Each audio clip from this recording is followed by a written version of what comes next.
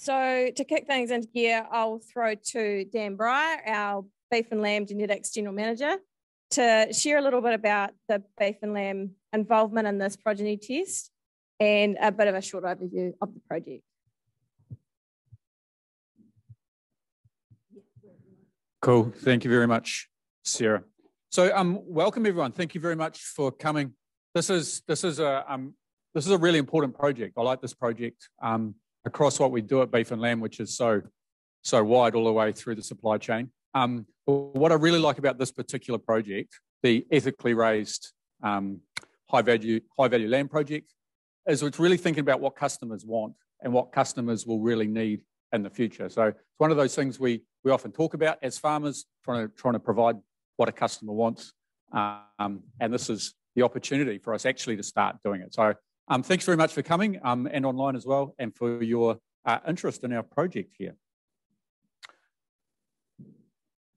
It's worthwhile, I guess it's worthwhile noting that um, Taste Pure Nature is a really important part of what we do at Beef and Lamb, helping to drive um, uh, helping to drive customers and consumers around the world to look for New Zealand produce. And so this is a, a really clear and direct, direct link from the farm through to our conscious feeder, who's after um, well-raised, ethically raised products, safe products, and safe means different things in different parts of the world, um, safe products, and really well looked after lamb. So thanks very much for coming along. What we're trying to do here, what we're trying to achieve, are low input um, animals, so minimal intervention, robust to common diseases, and environmentally efficient. So what, what we'll get an opportunity to see today and hear from some of the experts who are working on those challenges um, and see the progress that's been made over time. Some acknowledgements. So um, Beef and Lamb funds this project alongside uh, Ministry of Primary Industries through the Sustainable Farming Fund. Um, we've got a steering group and we'll hear from the steering group members today, but really important to acknowledge the efforts that they've gone to to help us get here uh, and deliver this for us. So that's uh, Daniel Wheeler, Kate Broadbent, Alan Richardson, uh, and Robert Peacock. Dave Reed deserves a special mention too for helping pull this together back in the um, in the first instance. A couple of other thank yous. Thank you to uh, Robert and Alex for having us um, out here on a beautiful day uh, in, at Orari Gorge and for hosting the progeny test. Um, I'm sure those of you who are involved in progeny tests will know it's um, a real task and it's a, a, really important thing that people do to make sure that we can provide the, the underpinning information for our genetic evaluations across the industry. So thanks very much to, um, to Robert and Alex for having us here. Uh, thank you to AgResearch and the PGGRC. So this is particularly um, as we think about those, those emissions. So the PGGRC is the Pastoral Greenhouse Gas Research Consortium, which Beef and Lamb and other industry organisations have been investing in for uh, 15 odd years now to try and find some solutions to um, methane production in sheep and beef farming systems.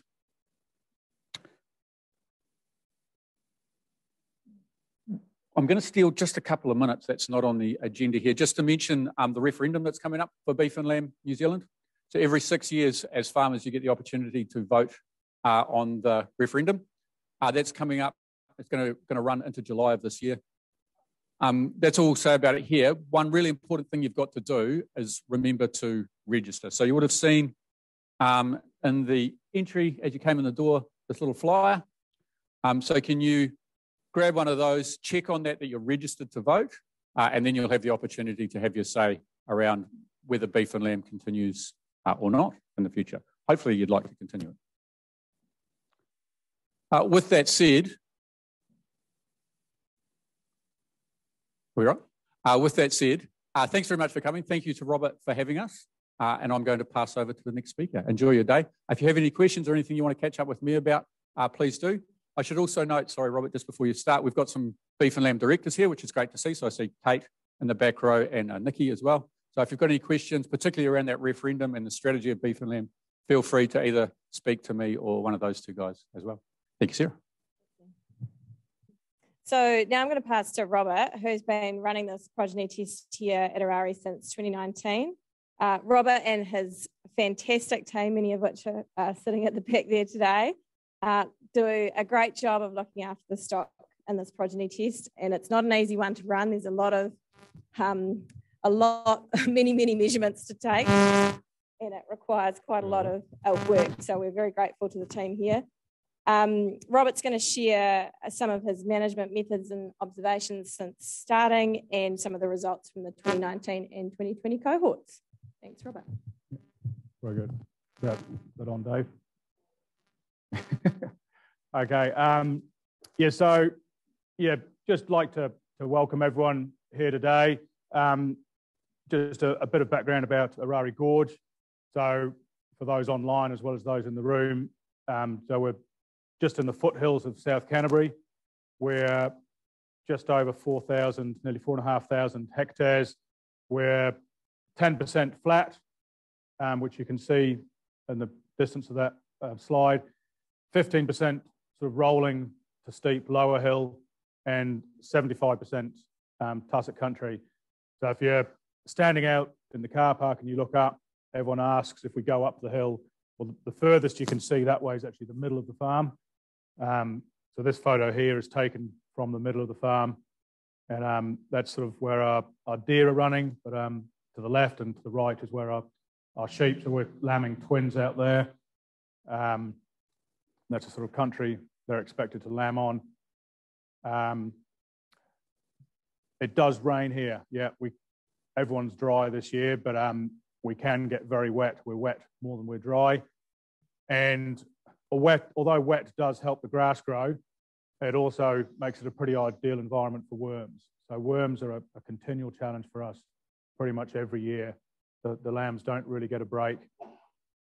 Um, so we're running about 24,000 stock units. We're 50% sheep, sort of just over 8,500 ewes, uh, 25% cattle with um, just over 700 pregnant cows in the winter, including pregnant heifers, and 25% deer. So about um, going up to 1,700 hinds out on the hill this year. Um, so why, why a progeny test? So Beef and Lamb have been running progeny tests for 20 years now, and the key behind any progeny test is, is linkage. If you're going to buy a ram and you're looking at the breeding values, um, are they, what do those breeding values mean? Can you compare a breeding value with a Romney in Southland to a, a Coopworth in, in Northland? And the Coopworth farmers aren't going to use a Romney to, um, to compare. So the, the progeny tests have to do that for them. So that's the key aim um, behind a progeny test. So the next question is why a low input progeny trial? Well, um, because of the issues the industry is facing. So labour is getting harder to get. The drenches are failing. 60% of North Island farms now have um, drench resistance to the triple combination drenches. And also the consumers don't want the chemicals in the product. So it's um, higher consumer awareness about what we're doing on farm. Um, so, um, yeah, and, and the, the labour, I'll come on to this a bit later, but it's one thing having to drench the sheep but also it's all the other work. It's the crutching, it's the dagging, it's the dipping, um, starting right at the beginning of the process, it's the tailing. Um, so it, it is getting harder and harder to find the staff, and, um, and we need to find ways of reducing costs. Um, also, as Dan has um, alluded to, the, the Taste Pure Nature campaign for the sort of ethically, sustainably produced food, more and more consumers around the country wanting to know what's what's in their food. Okay, so um, what why why is it here? So there's a few reasons why it's here. Um, one is I'm probably the only person stupid enough to volunteer to, to host it. Um,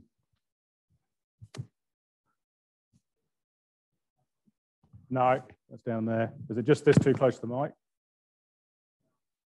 I'll put it that's down there. We'll try that. I'll put it in my pocket. Okay. Um, yes, I mean, quite ironic that a low input trial involves quite so much work. Um, there, is, there is a huge amount of work and, um, and a huge thank you um, to the staff here because it, it is quite different with the amount of work we're doing. We're always doing stuff. Um, this week, as well as hosting a, a field day today, we've had the methane trailer. So every day, all day, every day, we've had lambs coming in, drafted left, drafted right, through the methane trailer, put back out, um, changing teasers over this morning, changing crayons, um, AIing um, ewes. I went to a discussion group a couple of weeks ago. Said, "Oh, sorry, I'm late. We're AIing ewes. I couldn't come." And um, they all just looked at me and said, "Oh, heard this really novel idea, Rob. What you do is you, you find a stud breeder and you go and buy some rams and you just put them out with the ewes and, and they do it for you. And um, whereas we spent sort of eight days in the shed um, doing AI. Um, so yeah, I, I do understand it's, it's a huge amount of work. Um, it was sort of my choice to take it on. It wasn't so much the, the shepherd's choice to take it on, but um, so huge thank you to you guys for, for the work you do. Um, I just like to point out the obvious conflict of interest. Yes, we do have sheep studs here, and it's not normal practice for beef and lamb to host a progeny test on a stud farm for the obvious conflicts of interest. But, but as I say, I was potentially the only one stupid enough to put my hand up and, and volunteer. Um, it had taken us a few years from the development of the theory of hosting a low input trial to actually getting the funding. Um, I was really concerned that it was, might fall over because no one was going to host it. Um, I spoke to Beef and Lamb, said, oh, just so you know, if you're struggling for anywhere else, we could potentially look at hosting it here. Um, they said, oh, no, it's okay. We, we think we've got Telford lined up. And, um, and then literally three days later, there was the announcement that um, Taratahi was going into liquidation. So they were concerned that Telford might not be a, a safe long-term bet. So they came and had a look, and sure enough, no one else was was keen. So it, it ended up being here. Um, I mean, my personal beliefs behind the low input. I mean, I've been really passionate about this low input for years. Um, university in the 90s, I did my honours on drench resistance and alternative methods of drench control. I'm really concerned the industry as a whole either doesn't realise the issues in front of us or is just putting their head in the sands hoping it'll go away, but it's not going to go away. The drenches are failing, the, the workload is mounting, the workers are hard to get, the costs are rising. So we've got to find another way. And um, genetics are a serious option in reducing those costs and reducing the workload. They're not going to fix it overnight. It's a slow fix, and it's possibly not a total fix. You've got to in include the management on farm as well. But the genetics, to me, are a, a really huge part of the potential answer. Um, so, um, sorry. Um, yeah. Um, I mean, with, with my stud, I don't, I don't, want to talk about my stud as much, but we're our own biggest client with our commercial flock. So it's really important to me that we're doing the right thing with the stud to provide the genetics for our commercial flock. And as a stud breeder, it's really hard to go and find those outside sires from studs that are also selecting for the same traits. Um, WormFEC, which is the genetic program selecting for worm resistance, has been in existence for nearly 30 years now. Um, a few years ago, there were still only 40 breeders out of about three or 400 registered breeders on SIL that are, are selecting for worm resistance. Um, it's always a gamble when I go and buy an outside sire um, from a stud that's not recording those traits, whether it's worm resistance or DAGs or worm resilience, how they're going to handle my environment. And um, so, I mean, having a progeny test here, one, it gives me a chance to see those outside sires. So I'm very lucky from that point of view, I can see them in my environment. But the main thing behind it for us as, as a steering committee was trying to encourage other stud breeders to select for these traits. So we've got more, we've, we're all had the same problem. It wasn't just me, all the different stud breeders that are selecting for it are really limited where they could go for their outside genetics. So hopefully getting a bit of awakening, more breeders would select for these traits and the whole industry can help each other go forwards. Um, so moving on to the trial itself, um, we had uh, 17 rams chosen from around the country, uh, covered about 10 different breeds. We AI'd just over a thousand, um, or programmed just over a thousand, AI'd just under a thousand of just our own commercial Romney ewes. Um, and that and that was the start of it. So the first cohort was um, was born in 2019. Um, we've got just finished our third mating, so it might be a bit hard to read if you want to sit right at the back, but there's the different studs involved, and um, and like I was saying, trying to get stud breeders to select for these traits, and there weren't many doing it earlier. The number of breeders that are selecting for those traits has climbed drastically in the last three years.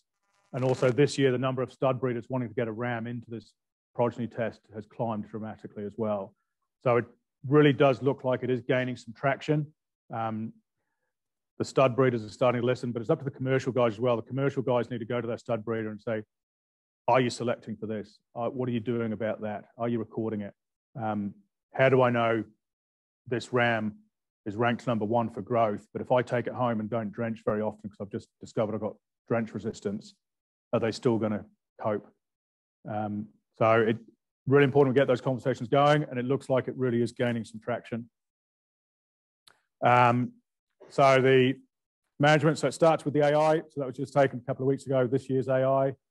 Um, the team there, and um, Julia Aspinall deserves a mention from Genetic Gains, does the AI for us. Um, runs a pretty good program. And like I've learned with a lot of these things, you, you pay the professionals to come and do a job. You've got to listen to what they tell you. And I think the results we had in the second year versus the first year were, were quite dramatic because I actually learned the hard way of not sort of thinking I might have known better on a couple, tried to cover a few corners. Second year, did what I was told, and um, the results spoke for themselves. It was great. Um, so next thing is lambing. So these are the progeny trial lamb, lambs, the twins born on the front country, and then the, the singles born on that hill behind. Um, unshepherded, we'll just go around them about once a week, just check for casts and things. Um, singles, we didn't go near because, as you can see, very hard to go around. Um, next thing was tailing. Um, and the first thing we did was measure the tails and then not take the tail off. So we tailed the ewe lambs we left the boys um, with their tails on. Um, a lot of say why. Okay, well, there's there's two things. One is that's that's the way the world is possibly moving. Um, as of this year, we thought last year we had to leave the tails longer. This year we've got to leave them longer again. It's possibly not that far in the future that we won't be able to tail at all. And when you leave the tails on, it changes everything, like the dags and the fly and stuff. Um, you think you've got rams that don't leave dags, you, you leave the tails on and you'll find out you might not be quite so clever. Okay. Um, so then we moved on to weaning. So everything was obviously weighed at weaning. Um, we dag scored all the lambs. Um, the first year we did crutch the lambs, the, the boys. Um, this year we chose not to because they were mostly clean. Um, we dipped them instead with with the the lambs, they were then supposed to stay drenched um, for as long as possible. So what we did was we had a control mob that was everything was drenched at weaning. Um, the control mob was identified. A month later, I'd bring them back in and would weigh them all and would drench just that control mob that was running in the same paddock with them. And we'd do that every month. So it's not just a weight gain from A to B or even A to F with a few in between, but it's compared to animals in the same paddock in the same year that are drenched at regular intervals. Because if you go from sort of December through to May and find they've only grown 100 grams a day, well, was it worms or was it the season or was it the clover or was it the management? You don't know. So if you've got the control mob getting drenched, the only difference is the drench. Um, um, we so we dipped them at weaning. We then dipped them again at end of January. So it's about six weeks later. They were weaned on about the 9th of December. And they had to get through to end of March, middle of March for kill. And they were already pretty shitty when we dipped them at the end of January. And I was really worried the dip wasn't going to last and we're going to start getting fly sort of a week out from the proposed slaughter date. But luckily we didn't. Um, the, the dip did its job um, and we got through. Um, so we've got a few live weights here. So this is just from this year. Um, don't worry about the numbers. I've got a graph coming up. Um, But this is the, the first year. So on the left, we've got the males. So weaning to the first weighing, obviously doing pretty well. And then they plateaued.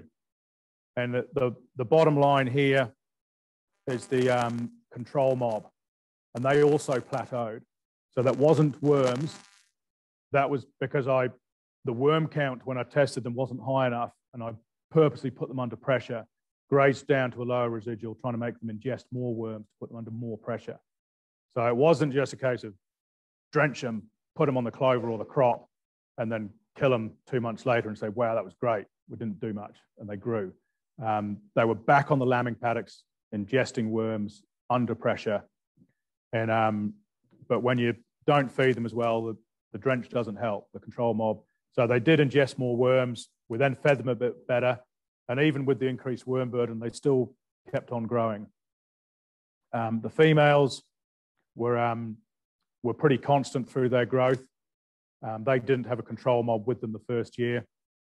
Um, and you can see that the, the control mob, they did catch up to a certain extent. They were growing faster.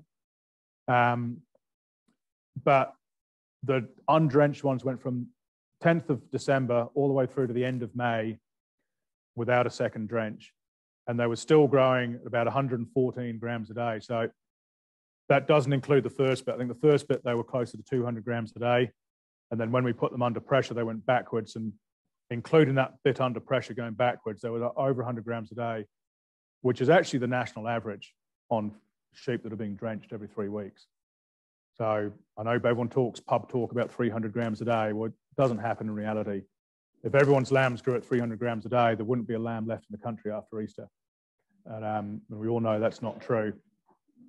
Um, so, so the growth rates were, were acceptable. The control mob was catching up, but still didn't actually catch them. The control mob started lower because they were born different. They weren't from the trial. They were some of my own lambs that were born on the hill and born a little bit later.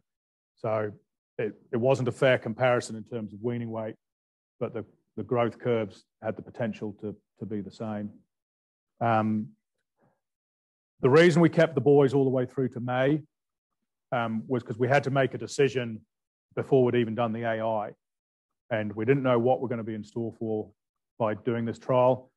And also, we wanted to measure as much data as possible. And we didn't want to do the AI, book in a kill date, and have everything planned around an early kill, and then find, well, first of all, we've only got half the lambs we'd hope we're going to get because the AI didn't work or the, the lambing storm. And, um, and secondly, the more lambs you've got to measure the data, the more accurate the data is. Um, so we made the decision to keep them right the way through to May. Um, they killed out at 20 kilos, which without having had a drench from for five months was, was pretty good. They could have easily nosedived at any stage. Um, there, what, there was one little trick I did learn, and that was the power of clover. So, so the ewe lambs in February, so eight weeks after um, their first drench, was two and a half thousand, and, and they looked like it. They looked pretty average.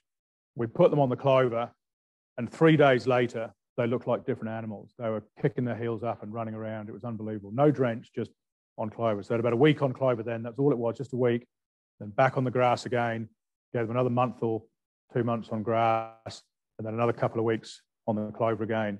And um, and that clover was quite a dramatic learning curve. We're, we're fairly new at the clover. We've only been putting it in about three years, and um, and we knew it was going to be good, and um, there was going to be quality benefits in growing lambs, but that sort of exceeded our expectations. It was it was pretty impressive stuff. Um, the second year we did things slightly different. We decided the males are going to be killed earlier, so we went for a March kill um, to fit in more with what the industry is doing. Um, there's no point saying we're doing a low input trial telling people we kill the lambs in May, and everyone says, "Oh, well, I've got to kill my lambs by Easter. Um, I'm not interested if you can't kill them till May." So we brought them forwards. The um, the big spike, it will drop off in the in the growth, isn't quite as bad as it looks. Um, the main difference was they were 24 hours empty, so it was the day before kill, and we'd had to have them in um, for crutching the night before. Um, the crutching I'll come to later, that was a, a, major issue, but there was there was dags to take off that weight as well as um, gut fill. Um, but yeah, the 24 hours empty versus two hours empty. And most people will seriously underestimate the gut fill involved with truly empty overnight. And not just gut fill, but a bit of dehydration as well. Um, so you can see, I mean, up until so 8th of December through to the 5th of March, that they were pretty pretty handy weight gains. Um, so you're already getting out to three months without a drench, um, sort of 13, 14 weeks nearly, and um, and they were still going pretty strong. Um, the ewe lambs weighed on almost the same date each time, and um, and they drop off a little bit as well. And the main difference there was actually shearing. We'd, we'd shorn them in that date. They had slipped a bit. They they certainly got a check. And when you're managing a system like this, where you're trying to push the boundaries a bit and trying not to drench them, you've got to really keep on your A game with the management. And um, I'll put my hand up there. After shearing, we, they went through a couple of paddocks and then I put them in a bigger paddock that had a heap of grass in. And I'd go and check them a week later. Yep, no, still heaps of grass. That's good. Another week later, there's actually more grass here than I thought. They're still doing well. But you know what sheep are like? They'll sort of they'll graze down really low the bits they like grazing, and the bits you're looking at are the bits they're not actually grazing. So they'd probably overgrazed some parts of the paddock and ingested the worms in the process, and come under a bit of stress without me realizing. Uh, I did realize, and we, we got them out of there and got them onto some clover. But if I'd shifted them a week earlier, um, it would have made a, the world a difference. Um, so yeah, the, the, you've got to get your management right when you're sort of when you're trying to cut corners on something like drench. You can't cut any other corners on the grazing. Um, so we, we measured the worm FECs. So in the end of February, we measured every lamb for an individual worm count. The genetic difference between the sires was huge. Um, we also measured the DAG scores. And I'm going to talk a wee bit about this because to me, if we're not allowed to tail, the drenches fail, I think it's the DAGs that are literally going to break the industry. Because I mean, you talk to any of my shepherds, they, they are horrendous. Um, uh, a DAG scoring system works on a, a zero to five scale. Um, for those, you can see the slide there. Probably the dirtiest one there on the right. I would have only scored a three at worst, possibly even might have got away with a two. So you can imagine what the fours and the fives look like.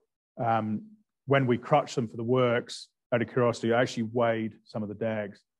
We were getting four kilos of dags off a single animal. That's that's 10% of its body weight. Um, so um, the DAG scores between the male and the female weaning, there wasn't much difference.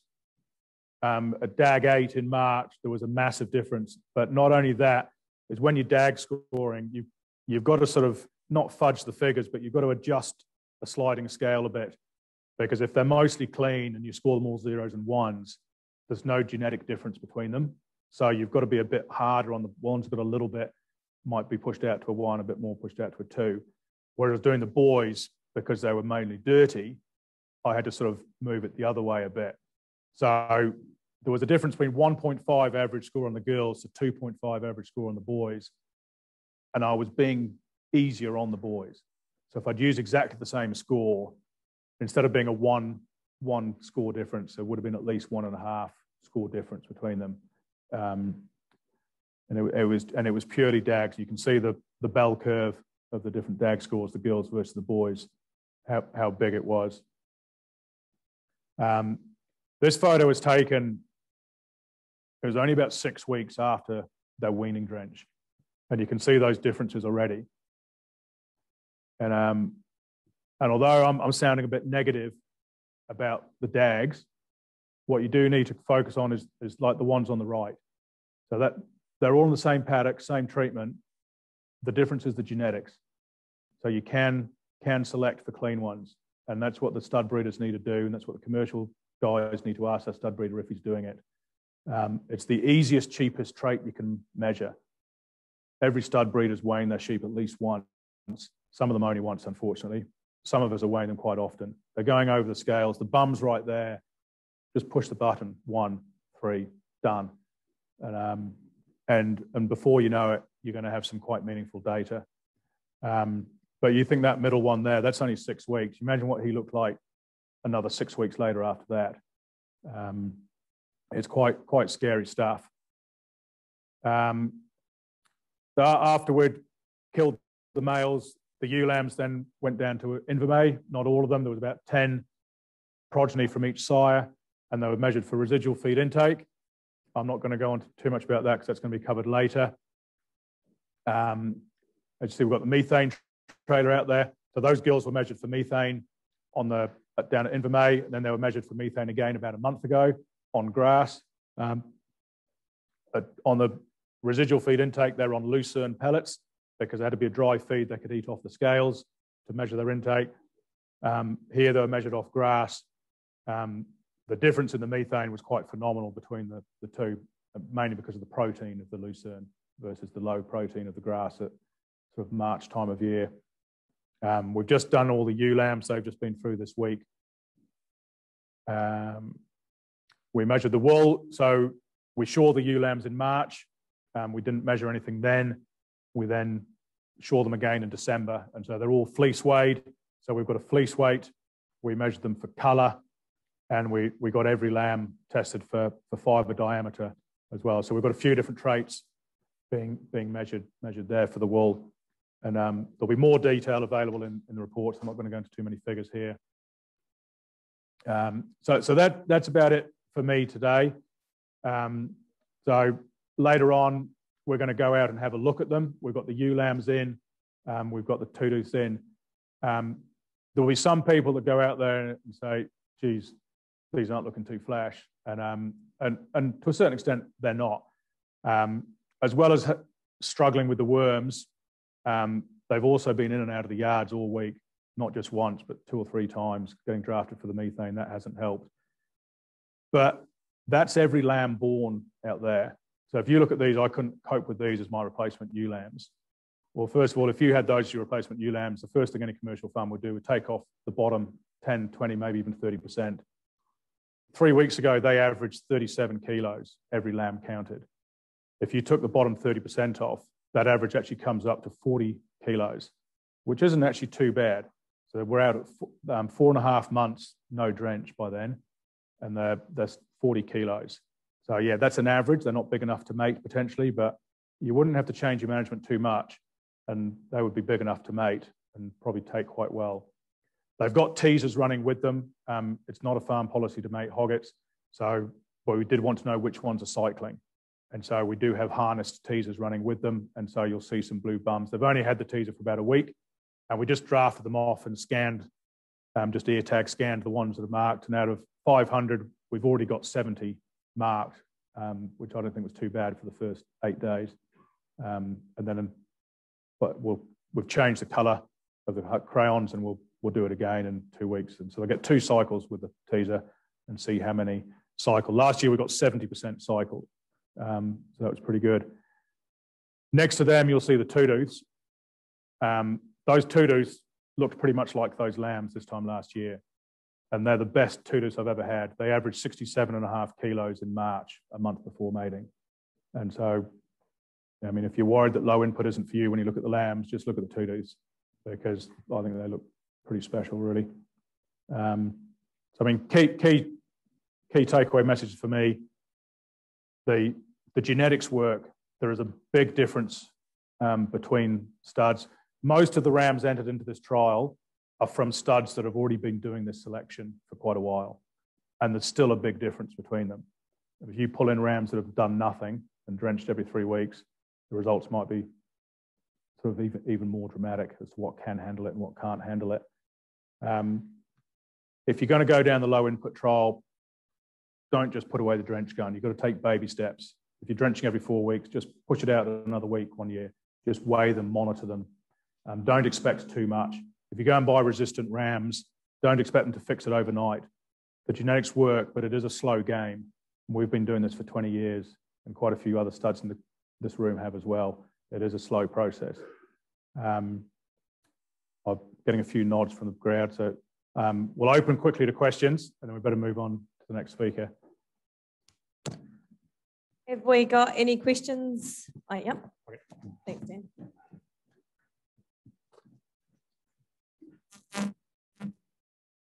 There you go. Uh, this isn't actually a question. Um, just as a participating breeder, I would like everyone to give the staff a round of applause, please.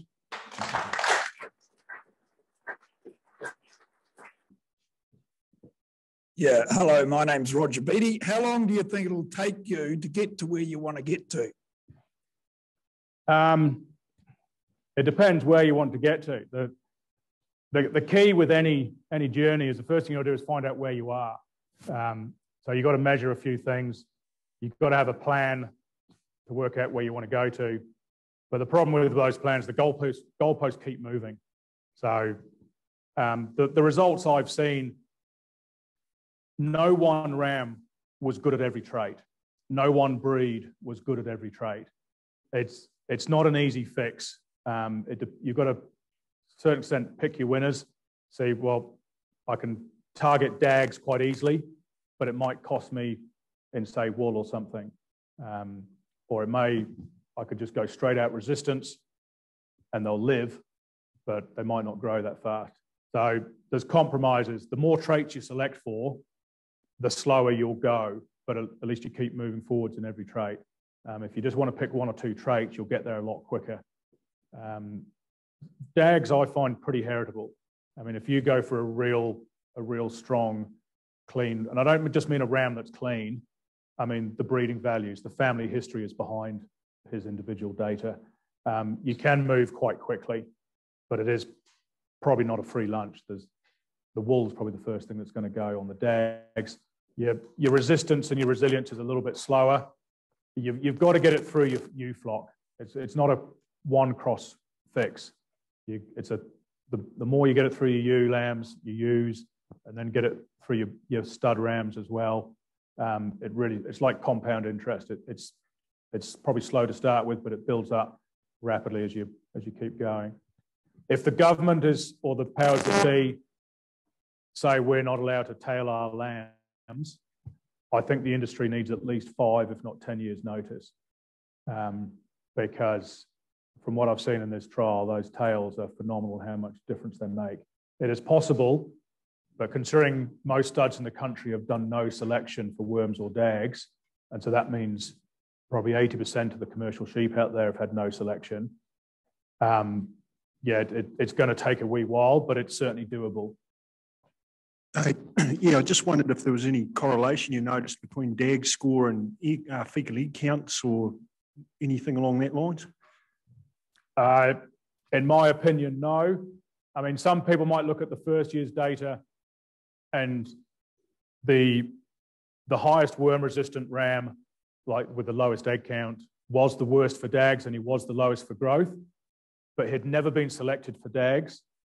And he went into the trial with the lowest breeding value for growth. So it didn't, it wasn't really a fair choice. There are there are other rams in the trial that were second safer fecal egg count and had great growth.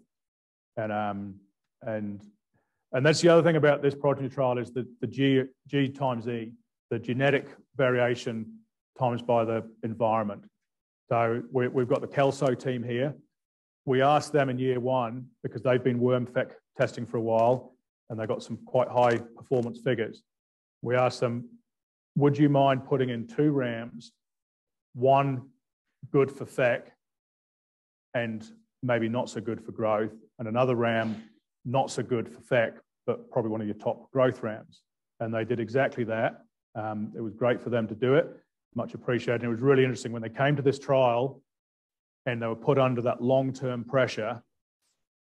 The higher FEC ram, his lambs actually grew faster than the supposed higher growth ram because the environment had changed. And um, so when you say is, is the correlation, it would depend under which circumstances. So under a shorter time frame, it might not have had much correlation, but but under that long, drawn out pressure of worms, the, the higher FEC ram actually shone through and his, his growth was strong. Um, but like I say, there was no clear winner because the, the ram with the, the lower FEC that was supposed to have good growth still had good growth, but he was number one for clean bums, which was great. The guy that grew a bit faster and had a lower FEC count did have a few more dags. But you can find ones that are good at this and bad at that, and you can find ones the other way around. The, there are some correlations, but there's always exceptions to the rule. Hey, Robert, what um, you, you talked before about what breeders are recording, right? And obviously, early days, but it looks like there's some sort of there's some uh, positive encouragement that there's some some information that you're discovering is really good. So if I think about breeders, and you've sort of highlighted there's some there's some potential barriers there for other breeders to be recording certain information that could be beneficial to the sector in the future, given some regulatory stuff that could be coming at us, etc and for the commercial guys as well in terms of you know lower the cost increase productivity etc on farm.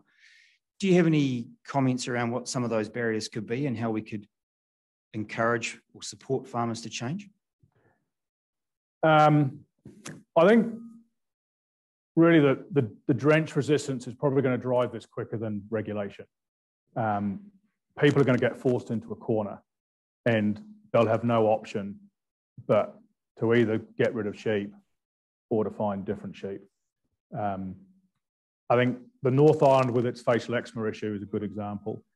Um, there are plenty of North Island stud breeders that didn't do any FE, and there are plenty of guys that are serious about it and making great gains.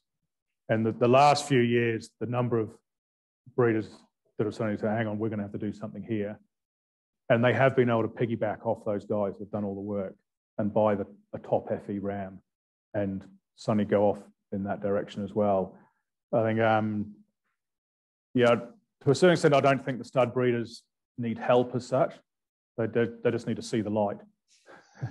and um, help to see the light, maybe. Yeah, and and and the help will be they'll continue to be able to sell rams, but if they don't change, people will stop buying their rams. Um, when the commercial guy realizes that it's not working, they'll they'll walk away and find some rams that are doing the job. And, um, and the guys that have done all the work for longer will hopefully get the, the benefits. Robert, um, it's possibly not the right time to ask the question, but um, how would you feel about adding um, not dipping to the program? Uh, not, not, not in the next year or two. No, I mean, you, you see those dags that they would have no hope. Yeah. And, um, yeah, no, we, we get fly in here. I mean, I, I don't know whether it's just because of the genetics we've done, we breed tough sheep. We don't use the chemicals more than we need to. Our dips do tend to last quite a while, um, especially to some other people we hear about in the district. They're dipping probably more often than us. But with the price of wool and the cost of shearing, people aren't wanting to shear or crutch more often. Um, if we're not going to drench much, and we're certainly if with tails on, um, yeah, they haven't they haven't got a hope with some of those shitty bums. You get rid of the, the shitty bums, you can then start putting the dip away as well. But um, no, it would be an absolute disaster if we hadn't dipped that second time this year. Yeah. Yeah, perhaps I could make some comments on that, Robert. We've dipped once in 23 years, and there's definitely a genetic component to fly strike. Um, our own size um, 0 to 1%, um, outside size up to 24% of their progeny are getting fly struck. So it's a wee bit like the DAG one. If you put them under pressure, you're going to find the winners and the losers. Mm. And even on a small scale, you'd get a lot of information off that. In a small scale, it, it's manageable. Um, you wouldn't want to do the whole flock and then it falls to bits. But um, yeah, don't underestimate the, the genetic component of that. Yeah, no, I, I agree. There is a, a, genetic component on the fly strike, but it is it is probably strongly linked to the, the same genes that are doing the DAGs. If you can, 95% of, of, of fly is coming from DAGs. So you get rid of DAGs, you're potentially getting rid of fly. And um, there are a few exceptions which will be genetic. Yeah, you, you, they might be producing DAGs, but they still seem to um, don't need the dip. What I, what I found with putting even my own stud sheep under pressure is the um, the they don't get crook because of the fly. The fly seems to attack the sheep that are struggling, even if they don't have dags. So if they can be more resilient and, and healthier, they are less likely to get. So from that, probably contradicting myself a wee bit there, thinking about it. But yeah, they, yeah, I mean, they, you can get clean and sick, and they'll get fly. And you get clean or dirty, they're still healthy and strong, and they're more chance of not getting fly. There must be some sort of pheromone they're putting off when they get sick that attracts a fly, because I see it every year. It, it's it's not the the fly that makes them go skinny. The, the skinny ones get fly. Got one uh, question from online. Uh, if you want to be drench free through to kill, how valuable do you think the periodic use of clover was? Um, it would depend on whether you're allowed to drench at all and what your mindset was. Um, yeah, I mean, the, the, the, the issue with this trial, any progeny test, is they want to kill everything on the same date. So in a normal commercial situation, some of these would have been killable off mum, more would have been killable a month later. Um, so you'd have only had half of them left by March. And with that becomes slightly easier grazing management, lower selection pressure. Um, yeah, I mean, if, if you're just going to graze them without clover, you can still do it, but you've got to make sure you keep residuals up so they're not grazing the worms that are down in the bottom 10% of the sward. Um, but with this trial, I was wanting to put them under pressure. So I was making sure they did ingest those worms. So you say, righto, I'm a commercial farm. I just want to get them through without drenching and kill them. Um, if you've got enough grass, you can do it without the pure clover. But the moment they come under pressure, the season isn't quite right for you. They graze a bit lower, they get a challenge. Um, you, you can still do it, but that clover was phenomenal, just how it works. Yeah. Yeah, they, they need the protein to grow, but they're also using the protein to fight the worms. And your average summer ryegrass doesn't have a lot of protein in it. Further to that too, um, from the research that we're seeing around the place in terms of farms that are dealing with triple drench resistance problems, uh, those uh, clovers and the legumes are a really important part of how they're managing their farm systems to reduce their reliance on mm. uh. Yeah. And the good thing about clover is the animals don't seem to need to tran transition much to it. I mean, Lincoln have done some work. We've got Chris here.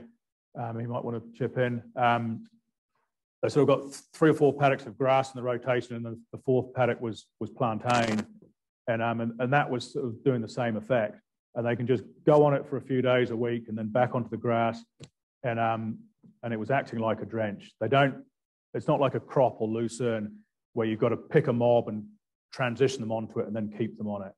You can just each mob can just have its own spell on clover for a week, and it does make a world of difference. Yeah.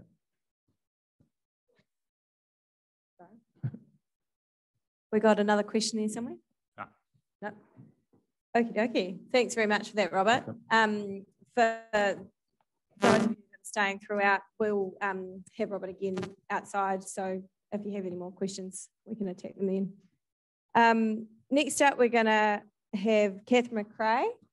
Um, Kathryn is a scientist in the animal genomics team at AgResearch in Invermay, uh, where she works on a range of projects, including understanding the genetic basis of resistance to diseases such as parasites and pneumonia. This research works to harness the natural variation in the population to work towards breeding sheep, which are less reliant on chemical inputs. So naturally, she's a great fit for this project. And we welcome her to discuss low input resilience traits. Thanks, Kathryn. Okay, so I got given the brief of talking about low input resilience traits. Um, and first of all, I wanted to start off with this is not a concept that's new to any of you in the room, hopefully, but genetics is a tool that we can use to help address many challenges. So the research that we do, and I think a lot of the breeders that are in the room would agree, is that we want to use genetic improvement to help provide a better product, better quality product for our consumers that has less impact on the environment from healthier sheep under better welfare conditions.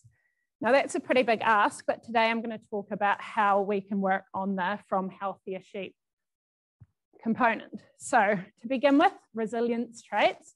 What's in a name? Um, this will come up again when I talk about resilience as a trait in SIL. But essentially, it depends how you define it. Resistance is quite easy, particularly when we talk about resistance to parasites. We're talking about limiting the load of the parasite or the pathogen.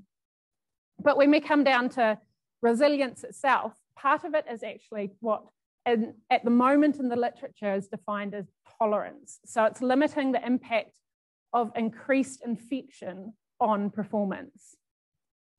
Resilience itself kind of captures both of that, the tolerance and the resistance. So they're both complementary defense mechanisms from the sheep's perspective, and it's a me measure of an animal to be minimally affected by disturbances. But ultimately, and as I just said to Russell earlier, what we want is we want animals that combine production potential, high performing animals that also have resilience to external stresses, be that disease or heat stress or whatever else, which means that we have animals that can produce in a wide variety of environments. So what are the tools that are available? This is a summary of um, what we classify as health and welfare traits. The underlined ones are those that are currently recorded by industry. And then we have some others as well that are probably more on the research side at the moment. Today, I'm going to talk about three of them. First, I'm going to talk about internal parasites and the different measures we can use to measure internal parasite burden. Um, but then I'm also going to talk about some of the work we've been doing in the pneumonia space and briefly touch on facial eczema as well. So first of all, with parasites, there are a number of ways which you can measure the parasite burden of an animal. Obviously, actually looking at the burden itself is the best measure, but to do that, the animal needs to be dead and you can no longer breed from it.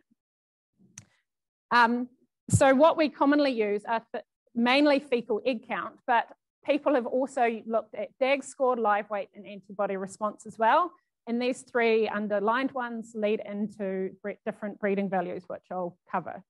But most people use FEC because it's relative, it's imperfect, but it's one of the best tools we have. It's fairly reliable. It's relatively easy to measure, although anyone who's had to do FEC um, before would probably disagree. And the good thing about it is that it's actually providing us with a direct estimate of pasture contamination. So for those of you that aren't familiar with the term FEC, sorry, it's fecal egg count. How many eggs from the parasite are in the feces of the sheep? In terms of breeding for resistance to parasites, we know that individuals differ in their ability to um, develop resistance to parasites. So that's what we term acquired immunity. Both the rate at which immunity develops, so how quickly it, it starts to increase, and the final levels of immunity. When we talk about immunity, the um, sheep it can manifest in three different ways. The sheep can either suppress the growth of the parasite once it's in there. And so worms are fairly simple in that the female worms, the longer they are, the more eggs they can have. But the sheep can also um, get rid of the parasite burden itself, or it can prevent them even establishing. So that probably should be the other way around. The first one should be preventing the establishment of parasites, suppressing the growth, or getting rid of them altogether. The main um, breeding value that we have for resistance to parasites is called WormFec, and so that is for parasite resistance. First of all, with a trait, we want to know are the differences genetic? This is the original protocol for WormFec. So it starts at weaning when lambs are drenched and then they're set to pasture. And so they undergo what we call a summer challenge. If the average flock fecal egg count comes up above 800 grams before, I think it's around March, before March, we do um, individual fecal egg counts and get counts for both um, Nematodirus and strongyles, and that's termed FEC1. It used to be that you then drenched and set them back to pasture and repeated the process, getting FEC2. But with worm FEC now, you can use either of those two measurements, so FEC1 or FEC2. Um, just to go back to basics, in case there are people in the audience that aren't necessarily breeders and familiar with these terms, what we want to know when we look at all of these traits, um, so what we call a phenotype is a trait of interest, in this case it's fecal egg count, we know that it's a combination of the host animal's genetics and the environment that it's in. So what we're interested in, if this is a fecal egg counts from thousands of animals, and most of them are relatively low, but there's some quite high, how much of that variation is due to the genetics of the animal rather than the environment because the animal we can use for breeding and that can be passed on from year to year. So with fecal that's termed the heritability. So that's how well it's going to be passed on to the next generation. With fecal egg count, on average, about 20% of that variation will be passed on. So that means it can be used as a selection tool. And the rest of that 80% is the environment. That then leads on to into breeding values. I'll stand here and hopefully it still works. So this is just looking at, and I think this leads into some of the discussion we were having earlier. This is uh, when it's probably about 20 years old now, but it still holds true. This is what underpins the WormFEC breeding values and the WormFEC index. So index is a breeding value combined with an economic weight. So this, in the first two columns, are live weight and fleece weight, comparing normal unselected animals with animals that had 50% resistance to parasites. What we're interested in, does this work, is this the benefit of resistant animals. So these are the losses. And so as you can see here, with no drenching in your lambs, you're going to get a 4.2 um, kilo benefit from having 50% resistant animals. As you go and drench more, so this is three times every six weeks and six times every four weeks, that benefit of the resistant animals decreases for both live weight and fleece weight um, compared with unselected animals. And that's because in that modeling, what's underneath that hood? It's around epidemiology. So if you have animals that are producing less eggs in their feces, that's going to be less larvae on the pasture. And so worm WormFEC isn't so much around individual animal benefit, it's around whole flock benefit. And there's actually been some recent research come out of Australia and merinos where they grazed unselected animals and animals that were selected for low fecal egg count separately over generations and looked at the benefits. And those benefits were less drench, faster growth, and less, less wool. So a lot of people will say that low fat animals don't grow as well, but we're talking about the whole system. Um, less of the energy is going into fighting parasites and more into growth. But those benefits um, in that Australian study were when the animals were grazed separately. So if you just have a few resistant animals in your flock, you're not a thing to touch on is what we call genotype by environment. So is a ram that performs, Robert's already talked about this, is a ram that performs really well in one environment, still going to perform well in another one. Um, research was done looking at Coopworth and Romney sires across the country. So this was in four to nine month old lambs. They had consecutive field challenges. So this was using the original WormFEC protocol where they had a parasite challenge, fecal egg count, drench, and repeat. And so what they looked at was the correlation between breeding values measured in different environments.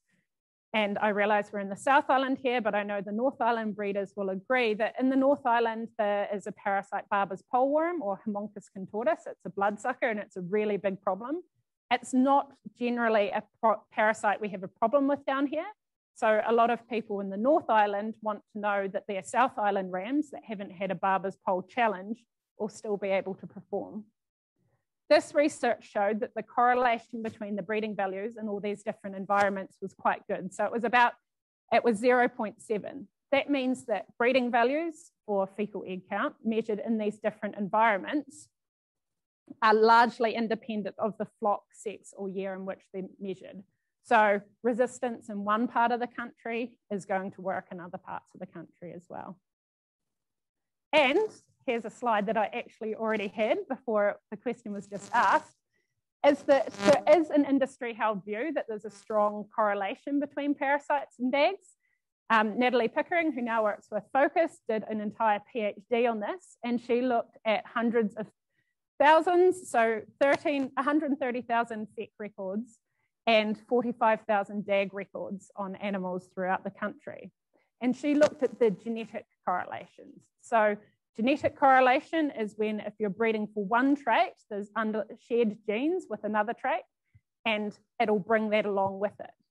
But she showed on the right here that it's FEC and DAGs are very poorly genetically correlated, if at all, depending on the time when you take it. So if you're breeding for animals with reduced fecal egg count, that is not going to result in animals that are genetically more predisposed to DAGs. Um, and just to add as well on Robert's point, DAG score is actually quite highly heritable in terms of house traits. I think it's around about 0.4 from memory. So if you are going to start recording DAG score, you can make genetic gain because it's quite heritable quite quickly. So that is WormFEC. WormFEC is your measure of resistance to parasites. But in SIL, we also have internal parasite resilience. And once again, Robert's already talked about this. It's defined as resilience to the effects of infection by maintaining production. And it's animals that grow as well as a drenched control mob.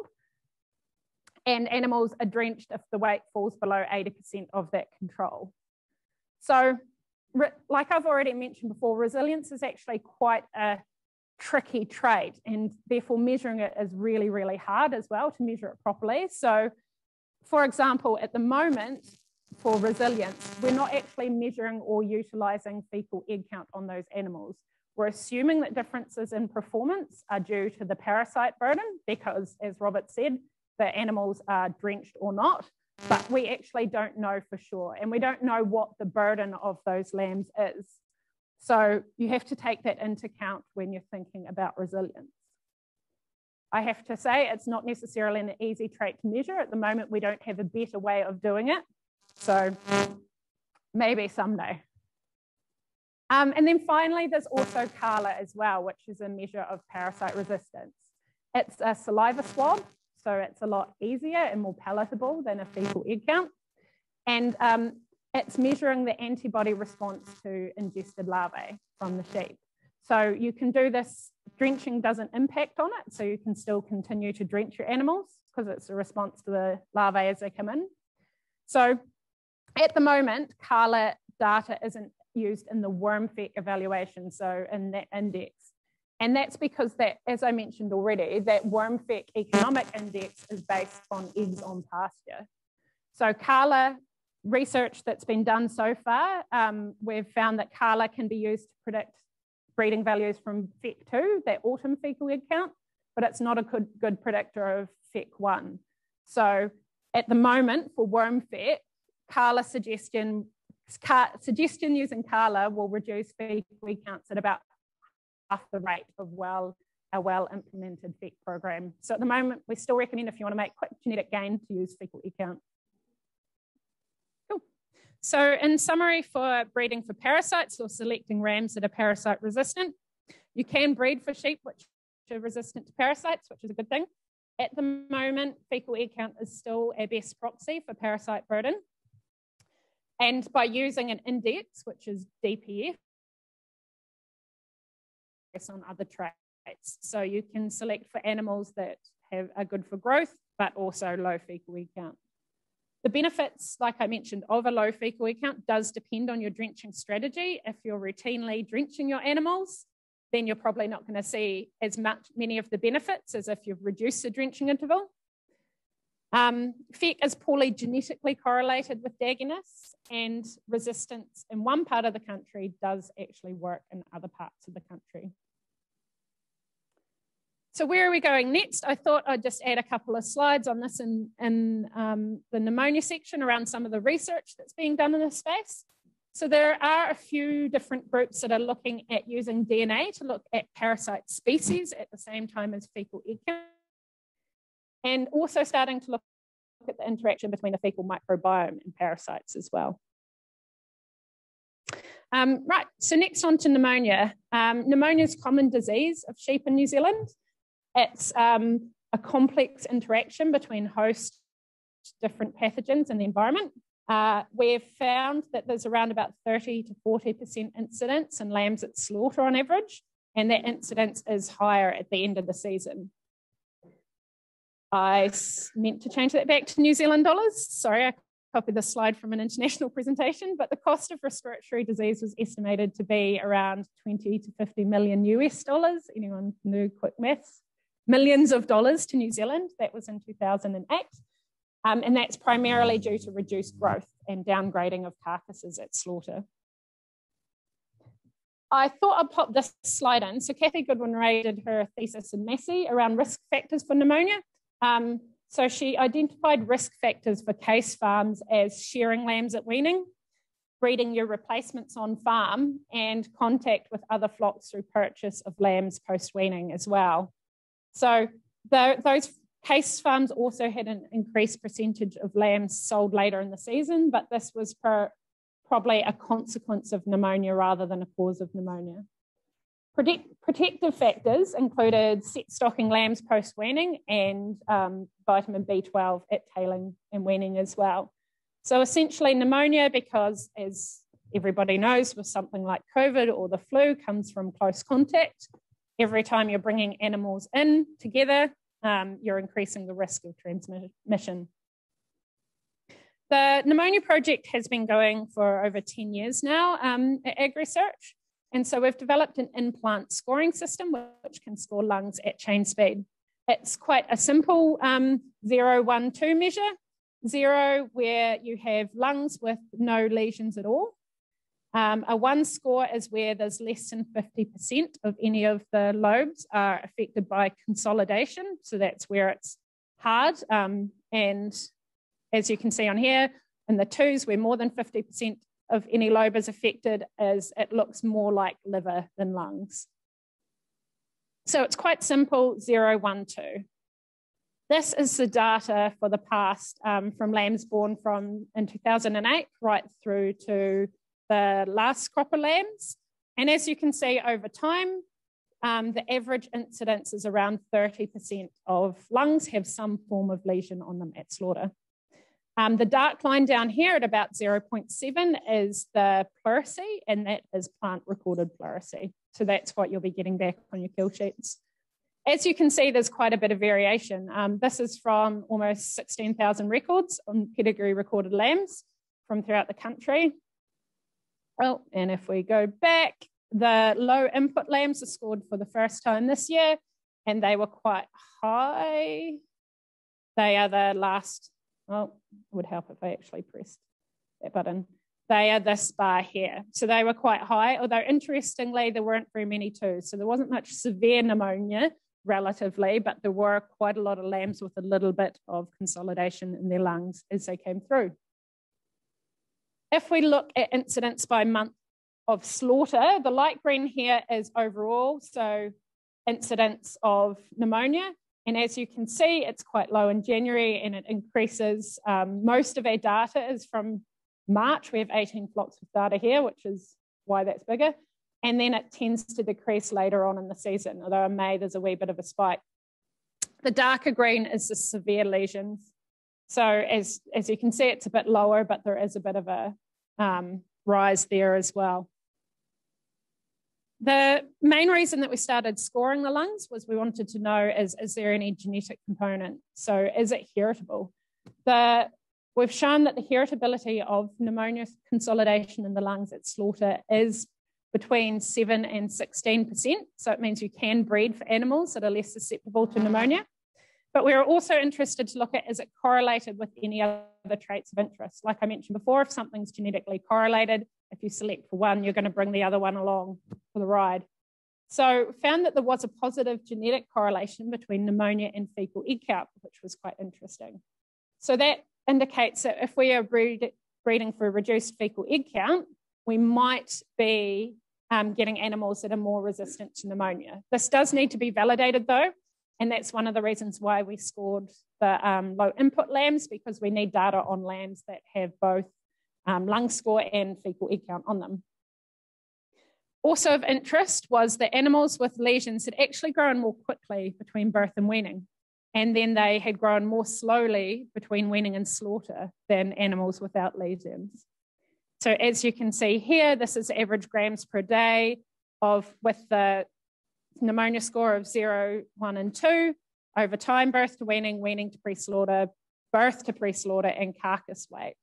So that means that animals that were, grew really quickly before weaning, at weaning slowed down and they were more likely to have severe pneumonia. So to summarise the work we've been doing in the ovine pneumonia space, we have managed to successfully develop this in-plant scoring system, and it is heritable. heritable this um, the pneumonia lesion score. So it does mean we can make genetic gains through selective breeding, and there might be a genetic correlation with fecal egg count there, but we definitely need more data to validate. And as I'll mention later as well, there is a bit of a confounding effect here because it might just be animals that had a higher worm burden are more susceptible to pneumonia because they've already been sick. So at, with multiple disease traits, it is hard to tease apart true genetic correlations. Where are going to next with this project? So at the moment, trying to develop a way to detect this in live animals. Obviously, we've been looking at lungs and you can't breed from animals. Um, that have their lungs external to their bodies. So we're trying to figure out by scanning lambs prior to slaughter to see if we can get it correlated with lung score at slaughter so that we can start looking at live animals and roll this out to breeders. So just gathering the data at the moment, it looks like there is a bit of a correlation there. It's not perfect, but um, yeah, maybe watch this space essentially. Um, and finally, just briefly to touch on facial eczema, I know that most of you are probably from this part of the country, so this doesn't seem like a problem, but um, with climate change, it might become one, and it's always good to be aware. If we're talking about low input traits, um, having to treat animals for facial eczema is definitely not considered low input. So facial eczema is a metabolic disease. It's caused by ingestion of a toxin, sporidesmin, produced by a fungus, Pithomyces chartarum. So this results in liver and bile duct damage, and subclinical facial eczema um, can result in this liver damage and, and, impact upon reproduction and production. And then clinical facial eczema is photosensitive, seen as photosensitivity. So the risk of facial eczema is associated with temperature, humidity, and dead leaf matter. And like I mentioned, both clinical and subclinical facial eczema, um, you get impacts upon the animal. This is on the left um, is the pre-1999. The dark areas are where facial eczema was seen in New Zealand. And on the right is what is predicted uh, with three degrees of climate warming. And I think most of the North Island guys in the room will be able to tell you um, that the um, areas that we see affected in here have actually been on hot in hot years. They've seen facial eczema, and it's been seen in the South Island as well I think. So it is creeping down the country. At the moment, there are ways of treating facial eczema, including zinc boluses, but genetics is a viable option. Um, RamGuard is a commercial testing program that measure, gives animals a measured dose of sporidesmin, then looks at liver damage through a blood test for GGT, 21 days post um, dosing. And so there are about 60 client RamGuard clients at the moment that are dosing up to 1,000 RAMs each year. The good thing is, is that tolerance to facial eczema is actually heritable in sheep. And for a disease trait, it's highly heritable, although we can, uh, heritability of about 0.45 is considered moderate. So um, it was estimated using selection lines um, to be 0.45, and a few years ago we re-estimated it using the RamGuard dataset, um, which was 20,000 animals, and it was still 0.44, um, which is quite impressive that it was calculated using um, selection lines and still remain the same. To note was when we looked at that larger data set, there was no significant genetic correlations between facial eczema tolerance and any of the production traits. So selecting tolerant animals isn't going to have any negative impacts on things like live weights or fleece weights. So that was just a brief touch on facial eczema. So to summarize, um, I just wanted to briefly talk about, because this is always a question, the correlations between the health traits. Like I mentioned, there might be one between um, lung score and um, fecal egg count, but we are looking into that further.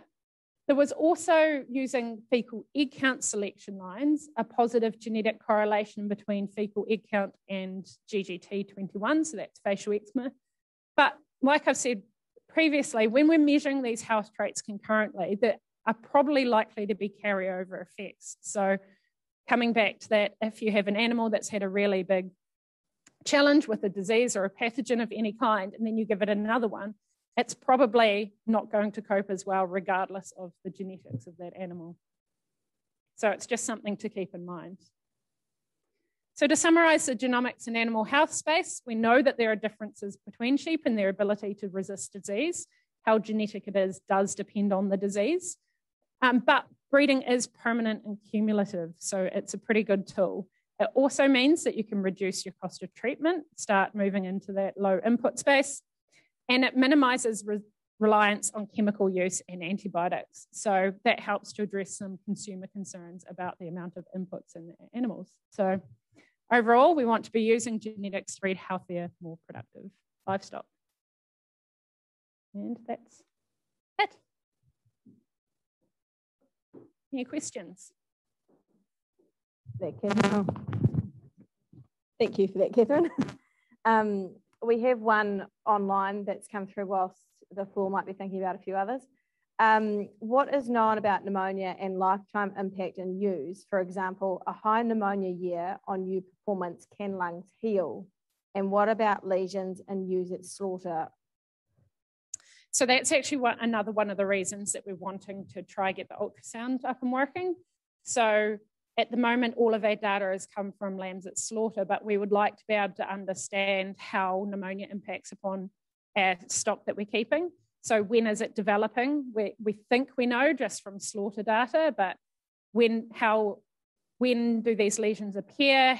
Do they resolve? How well do they resolve? And then we can start to look at if we can detect it in our ewes, we can start to look at the other impacts on the production of those animals as well. So um, hopefully being able to have a live animal measure will help answer some of those questions. Thanks. Uh, Kathryn, just a question. Uh, immune response in animals. So obviously you hear a lot in human health, the better your immune system is, the more responsive you are. Is there a common link between things like FEC, pneumonia, entropion with the immune response in animals? With the immune response? Um, that's where I come back to those genetic correlations. If you just looked at the correlations, you would assume there was a common underlying response. Thinking about the immune system in general, probably not. I mean, a parasite is quite different too. So pneumonia can be caused by bacteria or mycoplasma or virus. So the immune system responds to a bacteria different in a different way than it responds to a parasite. Um, so there's probably not underlying similarities in the actual immune response itself, but there's potentially something there in how the animal, how quickly they will respond, or whether they, um, like some of the work that's been done on resilience to parasites, for example, is that the animal's immune response just isn't, the animal just isn't really responding. So unlikely to be the actual same pathways, but it might be more to do with how the animal responds to a challenge in general. And I mean, we know already that the better fed an animal is, the the better it can cope with disease. So there's there is potentially some interactions, but it might just be if we pick one disease that we get some added benefits with the other diseases too, because the animal's not having to deal with parasites on top of everything else. Kathryn, um, a question early on you had there on temperament, uh, behavioural thing. Um, some freezing works don't use dogs in their yards. We have about eight, eight to 10,000 lambing sheep. We don't use dogs in our yards at home. Um, it, considering that it alters, the, considered that stress alters pH in, in meat. Um, and when you think about uh, perhaps inhaling dust uh, that, that could add to your pneumonia problem one day, just, you know, just sort of bringing down tracks and those sort of things. Any thoughts on that? Oh yeah, definitely. Like um, I'm trying to. I did try and find some research. I mean, anecdotally, people will tell you that dusty yards um, lead to pneumonia. Um, couldn't find anything that had actually published in a scientific paper. But if you think about it, so one of the the bacteria that's responsible for the lesions that um, you see in those pictures up there that's what we call chronic non-progressive pneumonia. So acute pneumonia is when an animal gets sick and it dies. Um, but with these lambs, they had lesions in their lungs, but they were still alive. And so the bacteria that's responsible for that actually usually resides in the nasal passages of the sheep. It's only when it gets into the lungs that it causes a problem. And so things like open mouth panting definitely are going to, which is when you have um, like a running animals down the yard and they're down to the, the lane to the yards and all the rest, they are definitely going to, it makes sense that they would increase your risk of pneumonia. So I would agree with that. And actually, again, anecdotally, because a lot of the stuff I hear about pneumonia is anecdotally rather than through um, the literature for sheep anyway, is that um, some of the North the North Island breeders have said that on really hot muggy nights, they tend to have um, a few days later they'll have more problems with pneumonia in their sheep as well, potentially again because of panting issues. But yeah, more research needs to be done essentially. Um, just, uh, yeah, my question is, is there any, have you looked at the relationship between the actual um, genetic fat and muscle on the animal? Is there, you know, potentially more robust animal to uh, resist pneumonia, worms, whatever? No, um, we were actually just talking in the car on the way up that it would be quite interesting to start to look at um, even feed intake and some of these health traits as well. So at the moment, like in terms of genetics, we haven't looked yet at fat, but I mean, the animal, if you think about a sheep as a system and they're taking in so much grass, so much protein, and they can either put that into growth or they, they can put that into their immune system. It, it can make sense that there's going to be trade offs. So the challenge for breeders is finding an animal that balances those two things enough. So if you just select on an animal that's resistant to disease, it might not grow as well. So um, breeding is always about finding a balance between things, and there will definitely be a link between what an animal is putting into growth and fat deposition and all the rest, and how well its immune system is responding.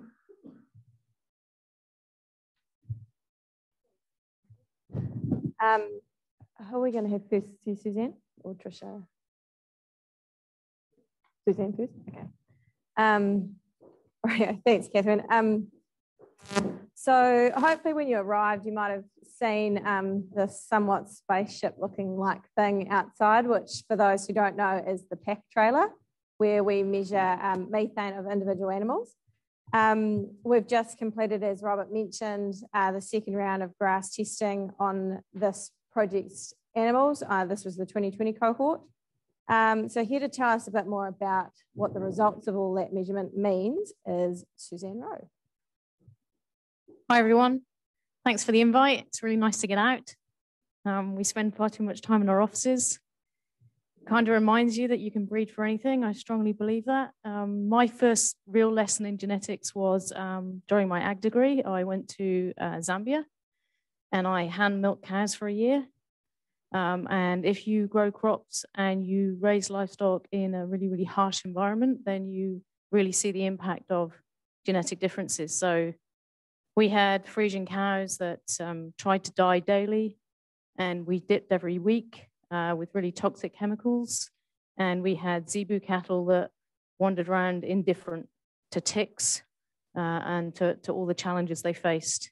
We had crops in the ground that um, if you got white ant, then the best you could do was pray for rain. So, um, yeah, the, these challenges that, that um, have been faced not only by management by, but by genetics, um, the evidence is all around us that, that genetics is, is a really strong uh, mitigation factor. Um, um, and probably another good example of, of, of genetics being used in, the same way as, as, we're looking at today is that during my postdoc, uh, I was working with pigs and we were looking at boar taint. And we were looking at boar taint because the EU decided to ban castration of piglets as day olds. Um, so uh, things like boar taint, skatole, and androstenone became a huge problem overnight for a lot of people. Uh, it was worth a lot of money. And even though androstenone is, is part of the, the sexual reproduction pathway, um, it didn't matter. We could, we could still breed for it. So we could still breed animals that had good reproductive performance, but lowered their androstenone to the point that there was less taint and we could kill them uh, at the age that we wanted to, to, to basically make a profit. So um, I sort of see similarities all, all across the world in, in, all the systems, and, and I'm pretty confident that, that we'll meet some of the challenges that, that we face, albeit it'll take time. And as someone said, that five to 10 year lag is really important. Um, I moved to New Zealand about eight years ago, and I'd been at AgResearch about a year when I got called into uh, John McEwan's office, and he said, I want you to work on environmental traits. And I have to say, I rolled my eyes to the back of my head and pretty much said something like, Isn't that for hippies and health and safety? Um, so, apologies to everyone involved because uh, I was wrong. Uh, and John pretty, pretty quickly put me straight. And actually, if we if we look at methane as a trait, there's got a oh, I don't want to go that far yet. Um, we can see that it has a, a, really uh, strong physiological focus. So the animal takes in starch, uh, the, the rumen bugs digest it, and there's redundancy in that system. So there's, there's many different ways that you can ferment feed, uh, many different uh, volatile fatty acids that can be produced. And the end product, the animal, the growth that we see, the milk, the meat, is all, all, all down to that fermentation. Um, there's obviously some bypass proteins that we can look at and, and bypass starch, but in general, in, in ruminant production, we're really looking at that microbial fermentation. Um, and whilst it's going on, hydrogen is being given off, and that's got to go somewhere. Uh, and we have a, a, very clever system where that hydrogen is bound up and it's burped out as methane, um, and it's an ongoing process. And actually, we can we can either breed the host or we can feed uh, to reduce the hydrogen coming off. We get things like more propionate, less hydrogen, and we get less methane. And it's relatively straightforward, uh, much more straightforward than, uh, than uh, I was led to believe in the first place. So um, why is it important in New Zealand? Why did I think coming from a European environment it wasn't important and then hit New Zealand and realize it was really important is that um, so much of our greenhouse gases come from enteric methane and we're on the hook for it. And the EU passed a motion not very long ago that says that if our environmental credentials don't match theirs, then they can put a trade tariff on, on, on what we send to them. So it's really important that, you know, that we show that we understand that uh, our production system does produce methane and we're doing something about it. So um, a decade on from, from the work that John started, uh, very insightful to start it as early as he did. And we have uh, methane selection lines. They're the only selection line in the world. Uh, they've been uh, bred for almost three generations now. And we've shown really successfully that if you breed high with high and low with low, that, that methane is certainly a genetic trait. Uh, it's heritable. And uh, we've very suc successfully uh, bred divergent lines that do indeed have different microbial fermentation. And the, the um, output of that, those microbial fermentations mean that, that we do have genetically different stock. Um, and, and we've looked at it in various ways, and we've looked at it on lucerne, and we've looked at it on pasture. We've grazed ram lambs all year, and we've measured them in different seasons. Uh, and the upshot of this is that the lines are always different. And we've looked at maternal worth, um, and the, the green line there is the, is the low methane animals, and the, and the red line is the high methane animals. And in our selection lines, the lows are actually around about $12 higher in maternal worth than, than, than the highs. We don't flog that because we're not entirely sure whether there might not be a founder effect. These lines are only 100 ewes each. We only use four or five rams each year. Uh, we're pretty limited as to the lines. They're becoming quite inbred. Um, but the, the, I guess the, the take home message for that is that these low animals are healthy. They've been bred for three generations.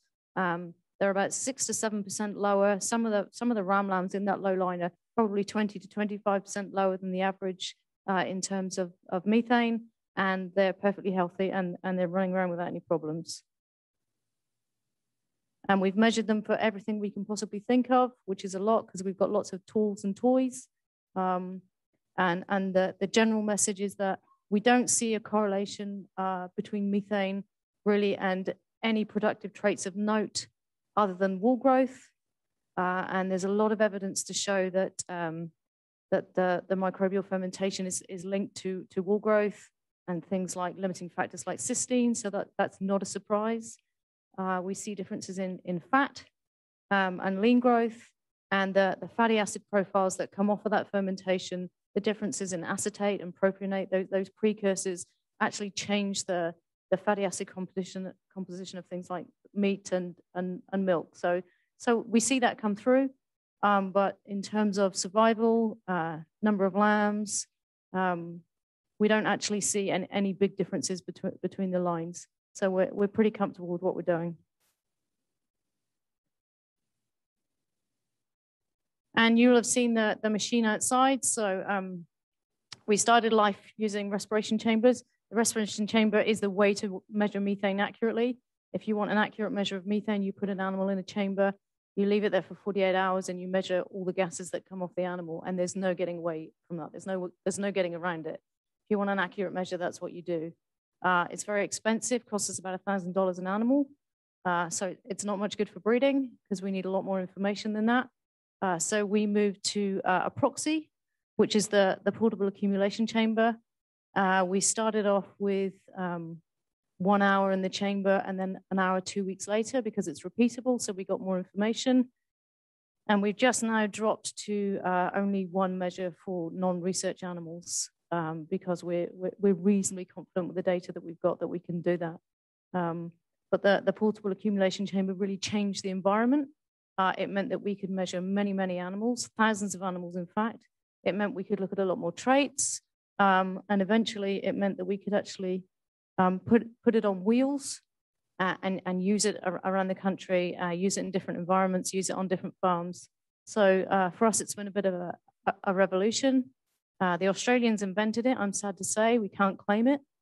Um, but, but our version is certainly superior to theirs. Um, this is about version three, and um, we've exported uh, a unit to Norway. There's about 3,000 Norwegian sheep that have been measured. We've uh, exported a unit to Ireland. We've just sold two to the UK. Uh, we're in the process of exporting one to China. Uh, so um, throughout all the projects throughout the world, this, this technology really seems to be taking hold. And that's great for us because we've got all the Norwegian data and we've compared it to ours and the genetic parameters and the heritabilities are almost bang on the same. So that's a real comfort to us that we're seeing the same genetic variation uh, in different populations across the world, because that gives us faith that what we're measuring is actually accurate and it's comparable across systems, which of course for breeding is, is what we need. And you all have seen it outside. And I just wanted to tell you a little bit about what we do because you guys get a magic breeding value and, and it comes in grams per day. Um, but, but that's not what we start with. So uh, we start with um, firstly some some calibration. So we have some some gases that we calibrate and and we record that, and we look at carbon dioxide, uh, oxygen, and and methane. Uh, and for each lot, we have the the time that the animals come in. We need the temperature, and we need the atmospheric pressure. Um, and and so we record over the day. So so we record chamber uh, parts per million for the gases. Uh, uh, and, and obviously animal numbers. We need the weight of the animal. Um, and that's because when it comes to actually um, deriving the gas traits uh, to derive uh, the, the liters per day and, and eventually grams per day, we need the time that we measured, the start and the end time. We need the weight of the animal because we subtract it from the, the volume of the, the container that, that he or she is in. Uh, we need temperature and pressure because in order to actually work out all those um, or derivations, we need to know exactly what the temperature is and, and, what the pressure is of the gas in order to come up with grams per day. Uh, and we also sometimes convert to moles. So um, happy to talk till I'm blue in the face with, with any of you about that um, at, at, at, any point. But just to kind of let you know that, um, you know, that the parts per million that we measure with the Eagle analyzer on the, on the trailer there's a little bit of conversion behind it to, to get to the, the grams per day that, that you guys eventually see. Uh, and we scale the data. So um, because every lot is different, um, methane is, is, has diurnal variation. So uh, there's more in the morning. Uh, there's a lot more variation around eating. Uh, it goes up and down. Um, there's, there's basically variation across the day. So what we need to do is uh, make sure that Every lot is measured exactly when they come in, how long they've been off feed, and then we scale within each group that's measured. So that means that animals are compared with their contemporary within the lot that they're measured and, it, and it's scaled to an overall mean. And the mean at the moment is, is a hogget mean of uh, seven and a half grams, uh, or, or with adults, we, we scale to 13. But generally at the moment, we're using that, that hogget mean as a, as a scaling factor. So the data is a little bit complex. It's not too bad. We've been uh, working with it for a while now, and we're, and we're reasonably comfortable with it. Um, and and we've got we've gathered a lot of data across many research flocks. We've got uh, research breeding values, we've got commercial breeding values, we've got correlations with traits. Um, but it's actually really exciting for this to all culminate in breeding values coming out of SIL. And that's probably the most powerful thing that we have is that all, the, all this data has been um, brought together into, into a single system. Uh, and we're getting the benefit of all those thousands of measures that research funds have paid for are actually underpinning a commercial system. And it doesn't always work like that. I know it should, but it doesn't always. And here's your breeding value, your PAC CH4. Now, the BV that you're seeing is, is, a, is an absolute methane emissions.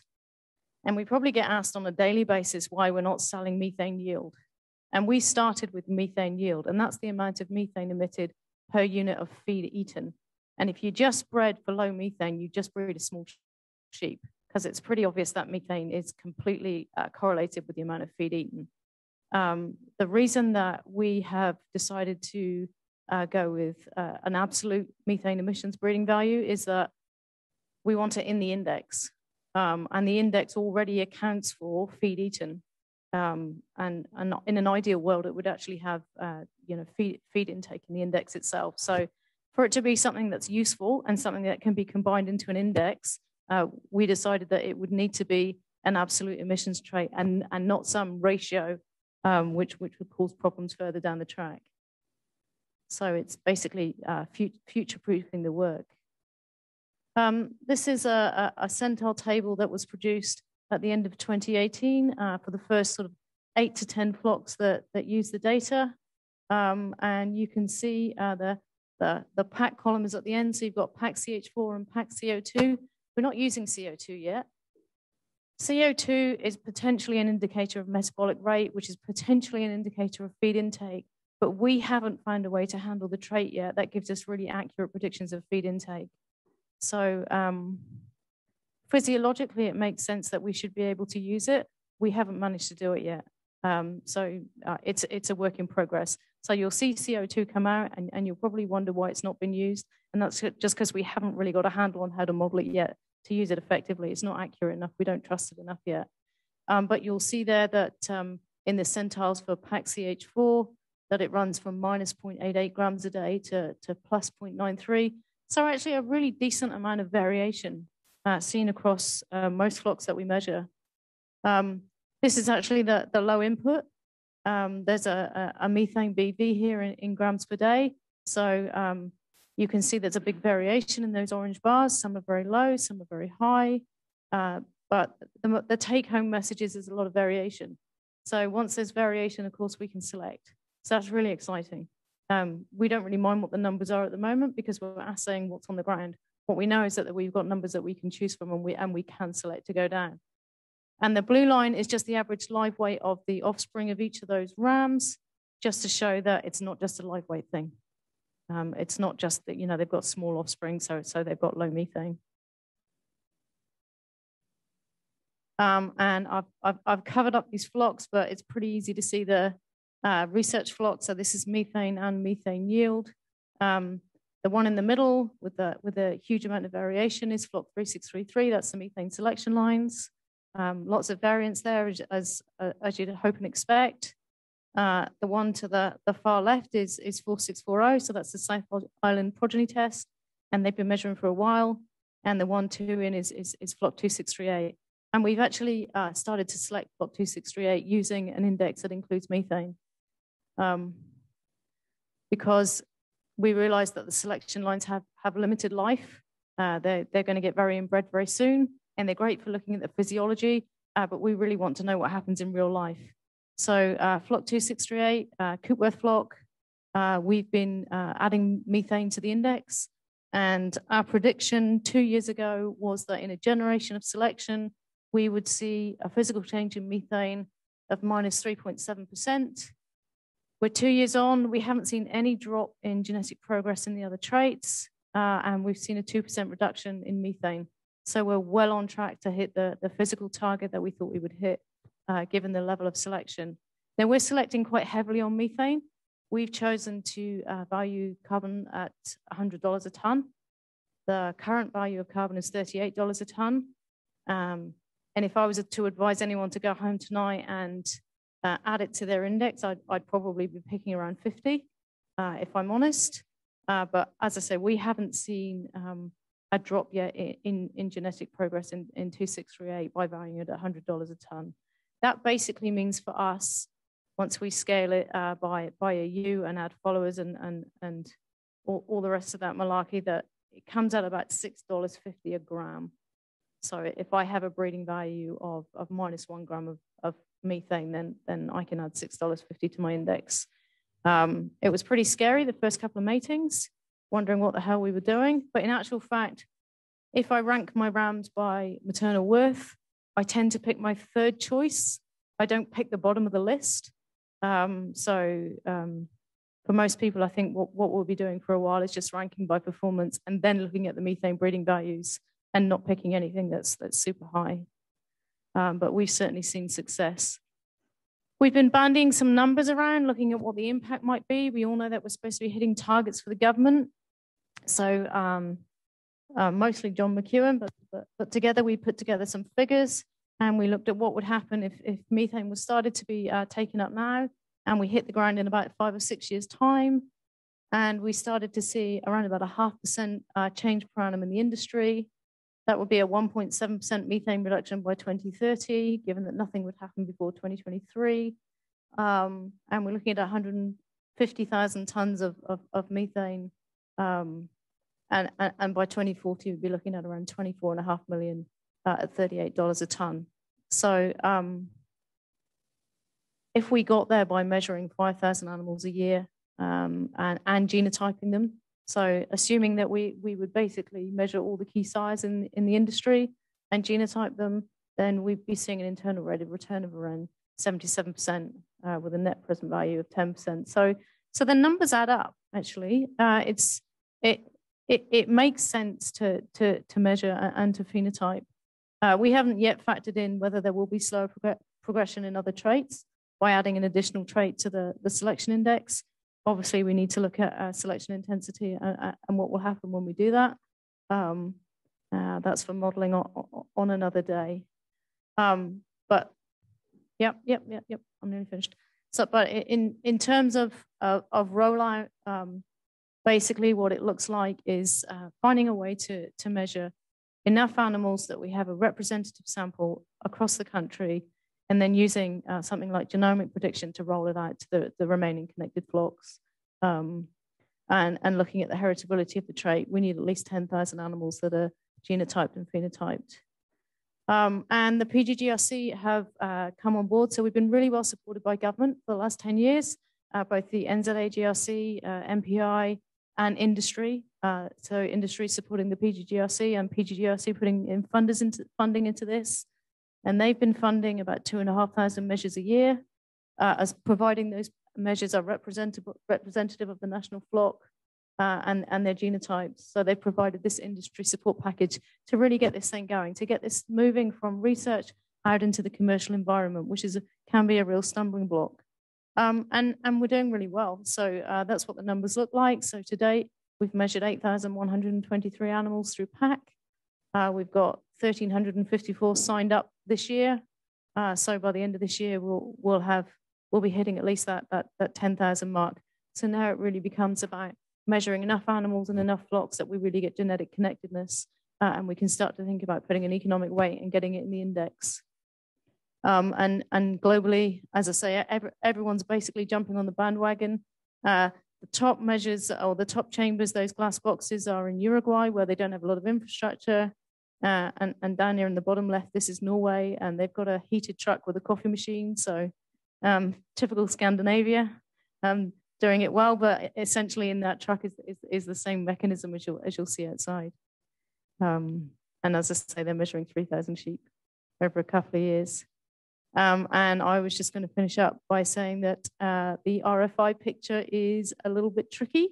Uh, it looks to us as though the low methane animals are slightly less efficient uh, than their high uh, emitting counterparts, but they also have more lean muscle and different fatty acid profiles in their meat. So jury's a bit out at the moment, actually. Uh, that, that picture needs to be uh, clarified. Um, uh, and the same with milk, we see different fatty acid profiles in the milk.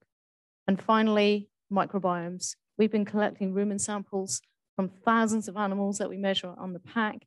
And actually, a rumen sample is uh, predictive not only of methane, but of feed efficiency. And we've come up with a way of taking uh, genotypes and microbial sequence, adding it together, and getting a, a, sort of holistic breeding value on, on the animal that comes not only from the host DNA, but also the microbial DNA that it harbors. So a bit, bit more of a whole picture. Um, and if that's not hippie, I don't know what is, but it's again, it seems to be working. So um, I'll just finish up by, yeah, again, another, another plug for breeding. Um, and uh, yeah, next steps are getting that genomic prediction running really well, getting the microbial prediction running to a point where perhaps we can roll up and take rumen samples instead of pack measures, uh, and looking at milk and meat fatty acid differences and, and additivity of strategies. So that there are other ways to, to skin this cat. There are other ways to reduce methane. We can feed, we have inoculants, we have additives, we have vaccines. Uh, we we want to know how that combines with with our with our breeding strategy. You know, we just we just want to get the job right. Um, so we'll, we'll we'll do whatever we need to, and of course all the all the great people that sit behind desks and uh, fund us, which we wouldn't be here without. So sorry, I've, I've talked for too long. It's a, it's, a, it's a trait. It's probably genetic. Thank you, um, Suzanne. Um, just a question for the group. Uh, who has done PAC testing so far? half a dozen of you. How many of you are thinking about doing it? Not yet. A couple more. That's cool. Um, if I were an interested breeder, where would I find out more about doing it? So um, there's a there's a website www.methanebv.com. Um, David, co.nz, co.nz. Sorry, yeah. yeah. So um, so so David has put together a, a, website, and if you go on there, there's a form you can fill out to show interest, uh, and then uh, Neville Amy's probably will contact you. And if that conversation goes well, then Barry will contact you. And then at some point, agreed in the future, that thing will rumble up your drive uh, and uh, yeah, your day will be thoroughly disrupted. Um, if you can't find the website, then you can contact pretty much anyone in Beef and Lamb, or myself, or Barry, or Wendy, or Trish, any any any any one of us. And uh, yeah, eventually it'll rumble up your drive and disrupt your day. So uh, just just let us know if you're interested. Thanks for that, Suzanne. Do we have any questions from the group? Uh, oh, yeah. Yeah. Um, as breeders start to measure it, will you open up your your um, high and low lines to outside sires to really push see how far you can take it? I think it's more likely that we'll pick them out of flock 2638. So we always use a low methane sire from the lines in 2638. And I think it's more likely that that's where the sort of multiplication of the low methane sires will come from. Um, I, I, suspect the lines over time will get inbred and, and, and too far away from all the other maternal worth traits. We don't select them for anything but methane yield. That's it. That's the only thing they're selected on. So I, I think I think I'd be a bit cautious about that, uh, but potentially. Uh, a little bit off topic, back to your introduction. Um, for those farmers that don't dock tails, they obviously don't castrate male lambs either. On Boar taint, is there any work being done on ram taint? I don't actually know. It? I don't know. I've absolutely no idea. Uh, somebody might know. Uh, not that I'm aware of at the moment. No, Tricia says no. So I suspect they're killed young. Suspect they're killed young enough that it's not a problem. Uh, generally, it's about the, the age or the size of it that you kill them at that, that makes a big difference.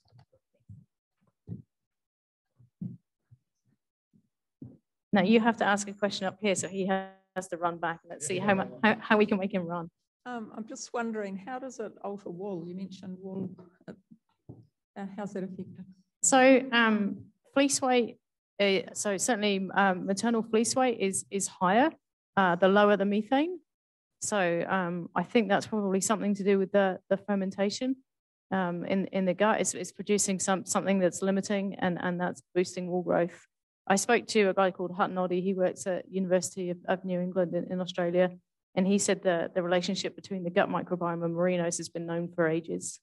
He may just be being a know-it-all, but um, yeah, he he basically said we should have known this already. So. Um, we know that we've been reducing emissions intensity by about a percent a year for the last 30 years or so. Um, and so this selecting just on methane is going to make about the same amount of progress. So why don't we just keep doing what we're doing rather than actually selecting on methane? Yeah, it's it's it, it's it's a good question, um, and basically the, the targets that we have are absolute methane emissions. So um, you know we could just go faster and, and produce more and say, well, in terms of intensity, we've lowered our emissions per unit of product, but the answer is is that the government on it's not acceptable to um, the, the global community. They want absolute emissions lowered, and and no, it, it won't do it just by itself. But by being more productive, we run less. We, we run half as many sheep as we, we did 30 years ago. Yeah, so we have reduced absolute emissions. Absolutely, yeah, in, in, entirely. So in terms of um, reducing stock units, then definitely. But if you think about the fact that um, methane is linked to the amount of feed that's eaten, uh, not the, the number of animals in, in the paddock, if those animals are bigger and eating more and consuming more and producing more, then you might find that you're still producing the same amount of methane. So we still have to work on reducing methane per unit of feed eaten, as well as um, reducing the number of stock units. Um, just adding on to that, I was at the Ag Innovation Day this week in Palmerston, saw your um, uh, the beef and lamb new tool for doing methane reduction and what we're going to do for the farms. But in that modelling that beef and lamb have done, they're sticking with the standard stock unit as opposed to allowing us to um, breed towards low methane, smaller animals, etc. How come we're sort of not going to get our tools that we're breeding into a measurable tool? So we're, we're, we're really pushing that through uh, He Waka Eke and through MPI, uh, and we have a few advocates there, and we've pushed it for the climate change and, and through beef and lamb and, and, and and all, all the different calculators. And, and that's one thing that we're really pushing hard. And you're absolutely right. If we don't get this into the tools and there's no metric that we can measure by, then, you know, we're, we're going to fall over. But um, that conversation has not been, well, that decision has not been made at, at government level because um, we're, we, we're sort of part of the conversation and, and we're pushing really hard for it because that's where all this research has been heading for a long time. And government are behind us because, you know, they, they funded it Yeah, thanks. Um, look, thank you. I mean, the, the work you're doing is just, you know, fantastic. Um, I just wanted to to flesh out again that that comment made about the beef and lamb tool that we've more recently developed to measure um, on farm methane. And I just would really encourage farmers to to get on board and have a look at that. It's it's for those of you, um, our farm we've been for a number of years now working through Overseer, and so we could see our number there. But this is so much easier to use. Um, it, it, really is. So it's it's still a bit crude, and I take your comment about the stock unit, and that's something we've you know we're we're talking about, and, and we know on over time it will continue to evolve. But it's a really good start. Um, I think Rob said right at the start of the day, you know, if if if you're going to achieve something, you've got to know where you start from. So it's a starting point. So um, it would be great to see farmers um, have a look at that tool and, and use it. Perhaps you could promise to put genetics in it. So we've absolutely left a spot there where those formula can go in. As soon as we've got the maths figured out, um, we've we've made sure that, that those other mitigations as they come along, whether it's um, genetics or other things that people can count for, um, we like yourselves working really hard to make sure that the people doing the maths and, and, and working on the calculators understand that when people have got mitigations that they can claim value from them. So all part of a big big conversation, absolutely. Okay. Just a further point, and I realize that a lot of the audience here is South Island, of course, but in terms of facial eczema, the prevalent studies that have been done show minimally a 20% reduction in performance. You know, profitability performance is, is impacted significantly by subclinical eczema. We remove eczema from the equation, we can run 20% less stock and have the same performance. So it, what the work we're doing with the methane and stuff is valid and it's really good and it's interesting and we're all going to get on board. But let's not work in complete silos when we've got other production limiting diseases that we need to make sure we target funding and that we get some answers and some solutions and some tools because that is part of the answer as well. And you know, it's great to hear that you've had the funding and you've had all this support. The group of facial eczema breeders here, you know, it brings a tear to our eye because we have been screaming and banging and asking for support and research tools and alternative tests for years and years and years. And it's coming but you know, as an industry, we all need to be asking for all these tools, and there's only yeah. a limited bit of money. But I um, I, I, I, feel your pain. Uh, so uh, we probably ask for money ten times uh, each each, t- each time we get a cent. Uh, so yeah, I certainly feel your pain. And uh, every year, the NZAGRC asks me for a list of desirables, and I can tell you that every single year, facial eczema has been on it. So uh, I'm buying the same drum, and you know we Absolutely. We, we work in systems, biological systems. So, so completely agree. Um, yeah, it's, it's, it's a tough fiscal environment. The same is true for the pneumonia stuff, right? That um, Kathryn was talking about earlier as well in terms of those production on farms. Completely. Thank, that's, um, that's our question time. Thank you very much, Suzanne. Um, Suzanne will be here um, for the remainder of the afternoon if you've got any more questions. Um, so as it was alluded to by both Robert and Suzanne, um, we have had um, animals from this progeny test sent to Invermay to the residual feed intake unit. And um, this was a portion of the same animals that have been pack tested here on farm. Um, so to tell us a bit more about those results is Tricia. Tricia. Cool. Thank you. Good afternoon, everybody. I realise I'm the last speaker probably before a cup of tea, so hopefully everybody can stay seated for another 20 minutes or so just while I talk you through some of the feed efficiency work that we have been doing. I want to start off before I even go on to my next slide is some of you will be sitting here and you'll have just heard the word efficiency and you'll be thinking about all the different types of efficiency that we can talk about. And last night I was at dinner with a few of you and we were talking about ewe efficiency as being the weight of lamb weaned per kilo of ewe mated. There are many different types of efficiency and they are all valid and have their place in our thought processes as we think to how we can start to achieve some of these methane targets and how we can actually improve our productivity. But the trait that I'm going to be talking today about is a very specific one, and that is feed efficiency. And so the concept behind feed efficiency is you can have two animals, and the question is do those two animals who may be growing at the same rate and approximately the same live weight, do they eat the same amount of feed? And the answer is more than likely not. And I can think of a whole lot of my, between my friends and my family to look at the variation that I can see between who is nice and trim but can eat forever, like my brother, and others like myself who struggle with everything. So there is definitely, everybody can kind of think in their own lives about an example that can relate to this concept of feed efficiency.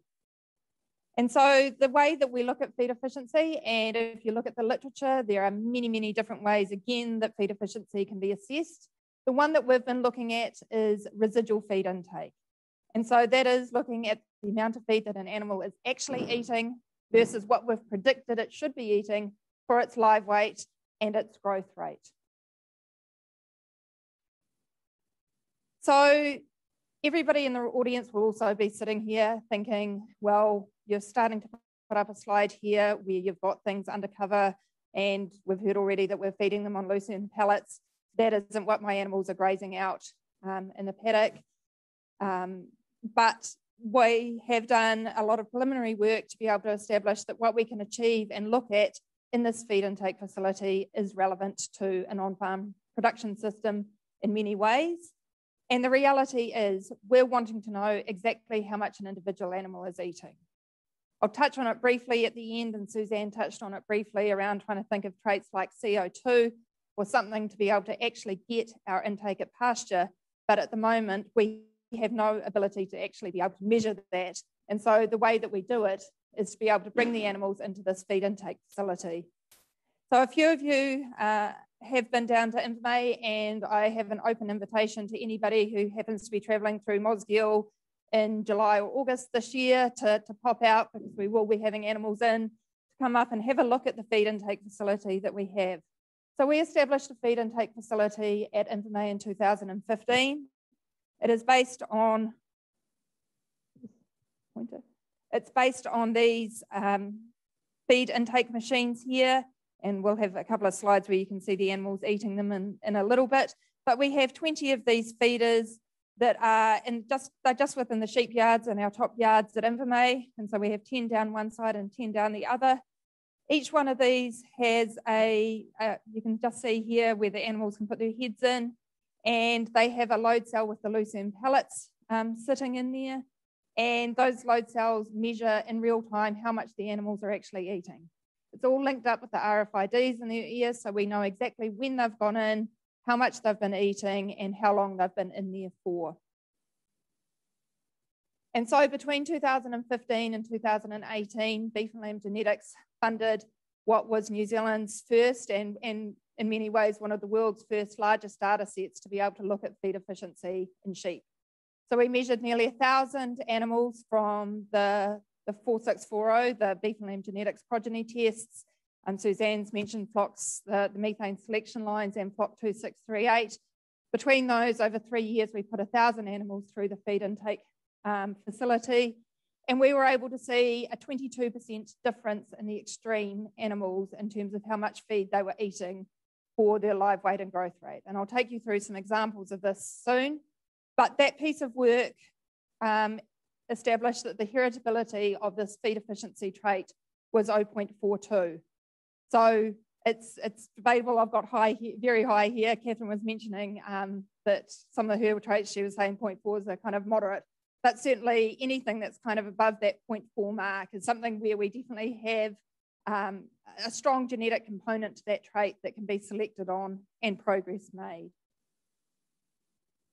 And so, as we've heard, the low input progeny test, um, one of the things about this is that kind of environmental impact. And if we think about feed intake, feed intake is going to have its role not only in that methane production aspect, but it's also a number of farmers in this room. Um, my husband's a farmer, and we've been started feeding out for the season already this year. Feed is a limiting factor in every single farming operation in New Zealand. And in some years, it is far worse, like this year, than other years. But feed has a real cost.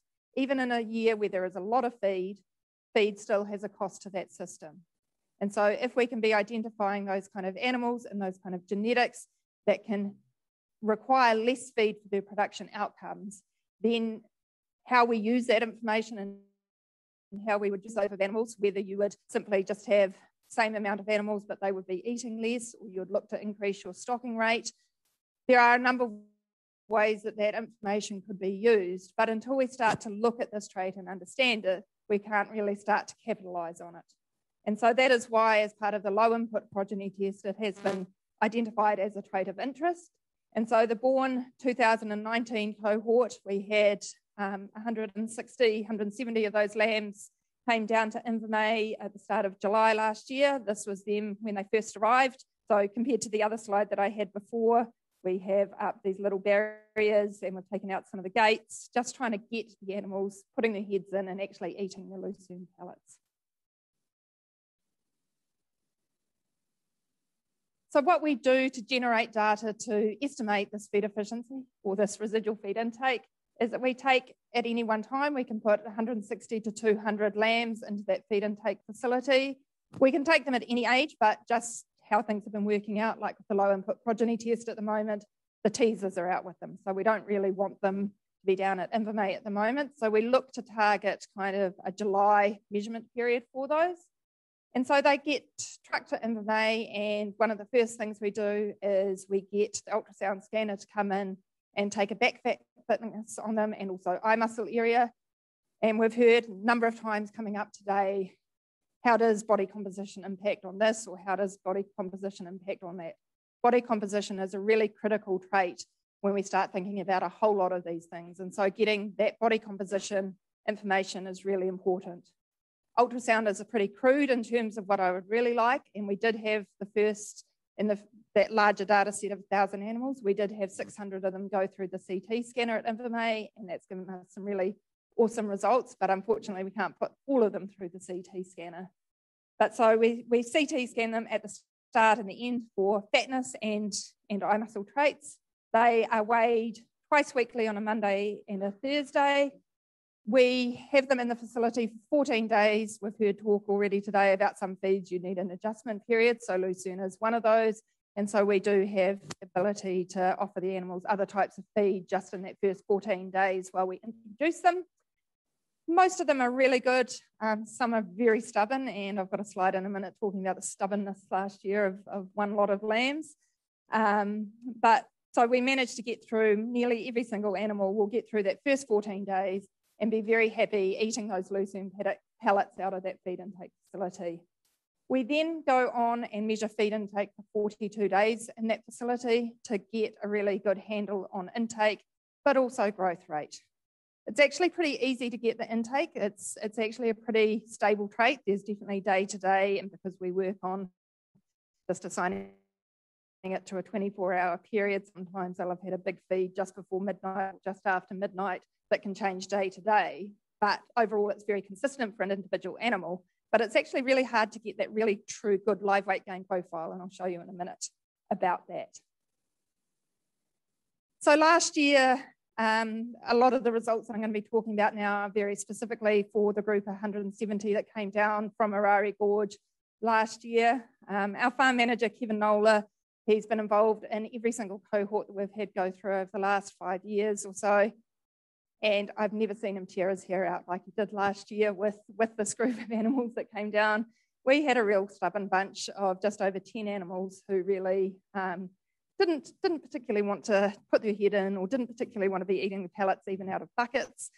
Um, and after about a week of struggling with these, I went and finally looked at, at who they belong to. And actually, most of them belong to one sire. And it is a sire that is kind of unique within the progeny test last year. And we do actually think that it has a tendency for fussy eating. And so, or some, something about it is just a little bit different. And it was just so standout last year in terms of how, how bad and how difficult it was to get the progeny from that particular sire to adjust to the facility. And so the irony was once we got, we ended up getting eight of the 10 from that sire to eventually eat in the feed intake facility. And once they were convinced that those pellets weren't going to kill them, they actually did really well on them.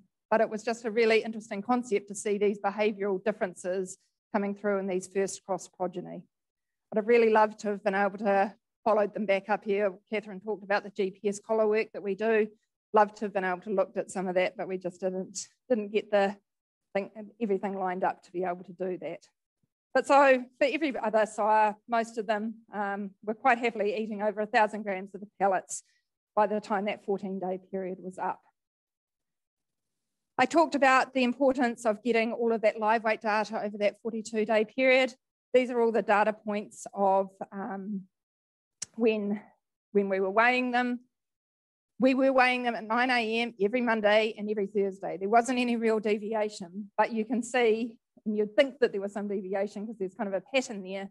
But it just really shows that even though you think you're weighing them at a consistent time, things have happened that actually any two successive live weights, we could have looked at those two and said that they were actually, they'd lost a little bit of live weight, but then the next one had actually gained quite a bit more. And so it's actually about being able to develop the full relationship over that 40 day to 42 day period to get the growth rates and take out all of the noise of individual measurements. So this is the summary of the time in the facility for those 170 odd animals. So I talked about having um, those ultrasound measurements taken at the start and the end. We, they started with an average of 2.5 mils of fat. Um, by the end of their time there, they averaged five mils of fat and it kind of skips down. I probably should have these in a slightly different order. this is kind of supported by the fact that they actually grew on average 343 grams a day while they were in the facility. So Robert was talking earlier that the industry average is about 100 grams under normal New Zealand conditions. In this type of situation where they were eating those lucerne pellets and, and really feed, they were on true, true ad lib feeding, we were averaging 343 grams a day. Um, lowest was 148, one um, absolute, don't know, Gorger, Rockstar, don't know what we want to call it, um, was averaging 535 grams a day they were in the facility.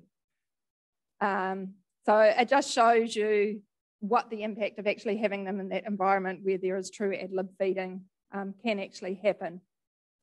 We, ironically though, despite all of the things that we're saying that they all grew really well, is there were some animals that didn't actually put on any fatness during that period and some that obviously put on a lot of fat. So they started just on that 40 kilo mark, and by the time they'd left um, eight weeks later, two weeks into production, and six weeks in the trial, they were averaging 57 kilos. So they came back a bit different to those that had stayed behind. Um, in terms of the mid-trial live weight, they were sitting around that 50 kilo mark. And on average, they were eating about two and a half kilos or just under two and a half kilos of these lucerne pellets. But this is looking at the between animal variation. This is what residual feed intake is. These animals all here had very similar um, mid-trial live weight, so just around that 50 kilo mark.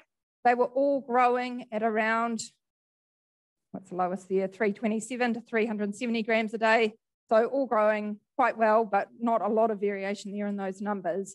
But we have an animal here who, for those production metrics, was only eating just over two kilos of feed a day. So this was the most efficient one here, right there.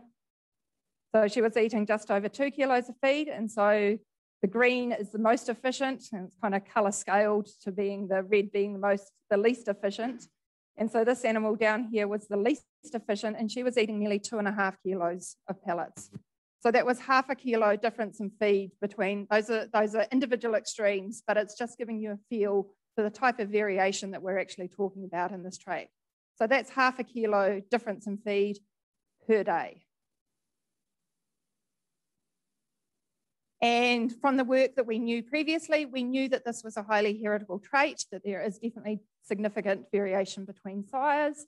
And so this is just an information summarizing um, the, the live weight.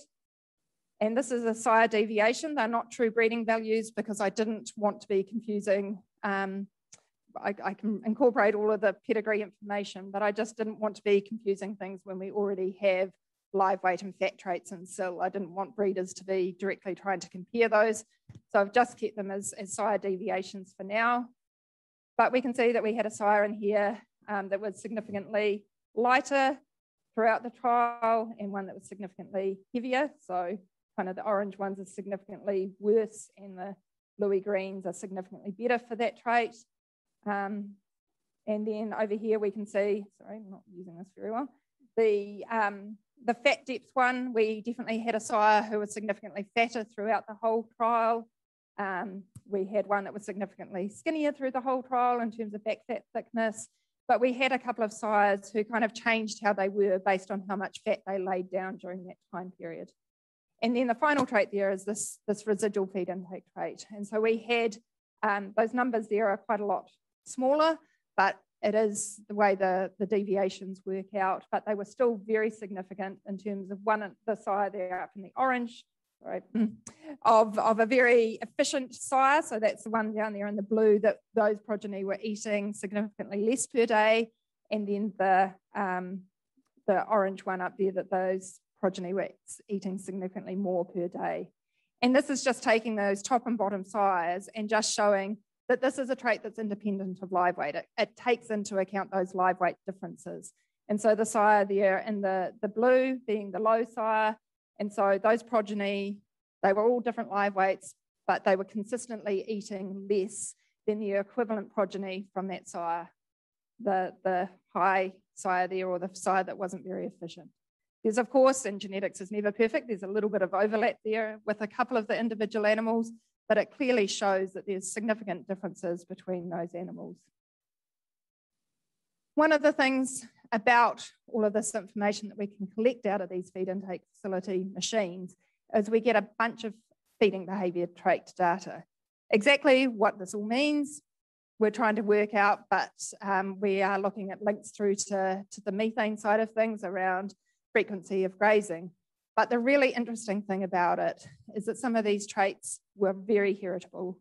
So one of the, the feeding behaviour traits has a heritability of 0.6 or 0.7. And so the way that these animals were behaving and eating in this facility from the moment they arrived was very repeatable across the time that they were in the facility. This example here is around the rate at which they were eating. So here we have an example of an animal that had a high feeding rate. So if it was in that feeder for a thousand seconds, it was eating about 600 grams of feed. And it didn't matter how long it was actually in the feeder for, it was eating at that high rate and you can see that relationship there. Whereas we move over here to this animal, and it was an example of a, a low rate intake. So if we look at the same point there at a thousand seconds, it was only eating about 200 grams of feed. And I really think about this, the relevance of these traits we're still trying to work through. But when I think about we open a new break at home, if you have the ability of animals to actually go in and absolutely gorge and eat really fast and make the most of that feed that's in front of them versus those that go in and prefer to have a very different grazing behaviour, what are the implications of that? Don't know the answers, but I just think there's a lot of information to be found in this type of, of data. We also had, um, so in each one of these graphs, it's two individual animals. The number of times that they would go to those feeders, on one lot of them, we had um, one animal there across the 42 days, it was only going to those feeders between 10 and 20 times a day, whereas another individual was going between 10 and 80 times a day. And even one time it went in over 100 times during the day. So, very different behaviour in terms of how they are actually accessing and dealing with that feed. The middle one is the average intake per feeding event. The animal on the left was only going in and really having real small nibbly events. And so it was kind of going in and only eating 20 to 80 grams a day, whereas one of the others must have just about been camped in there and it was having um, on average 150 gram feeding events and up to 700 grams of just going in there and eating and eating and eating. Duration of feeding events, again, similar variation between individuals, and it was very repeatable for an individual animal how they behaved when they were in there. So the nutshell is that we have a really awesome facility at AgResearch Invermay. We're able to measure individual animal feed intake in a very detailed way.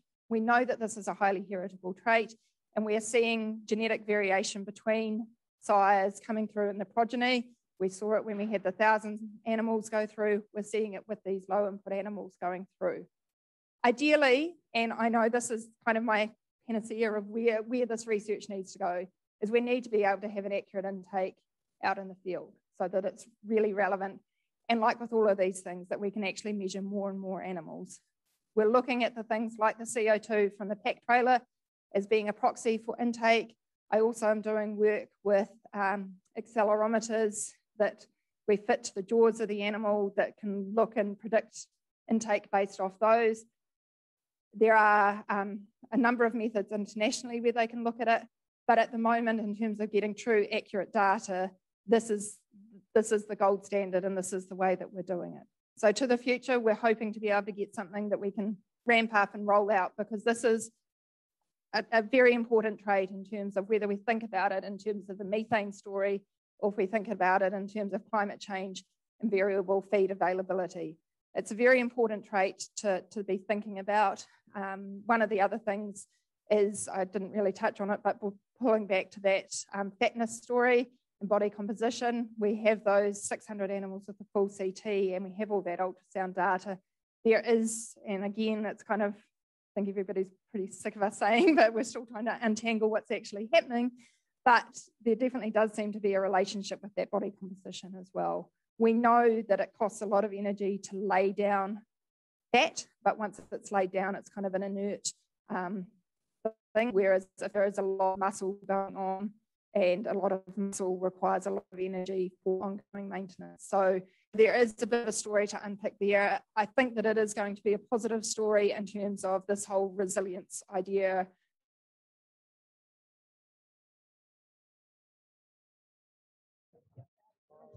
Okay, so now we are um, going to open up a bit of a, um, a sort of less formal um, session with our steering group um, members. We're very fortunate with this project test to have some very dedicated leaders on our steering group, which we um, discuss a lot of a lot of things through this project test.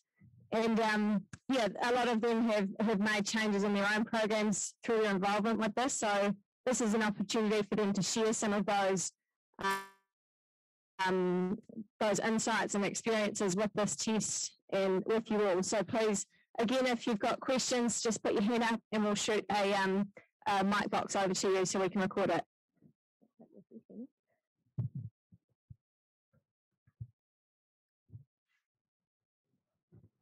Uh, I'll, introduce, I'll introduce myself. Um, Daniel Wheeler. Uh, the main job is actually sheep scanning. Um, technically, I'm the lifestyler. Um, we just run 100 acres, 260 ewes. Um, started out with fins, morphed into Finn Texels, run a small um, shedding flock as well. Uh, 25 years since I've last stocked the lamb. Um, no, I haven't told him either. So we run all tailed sheep.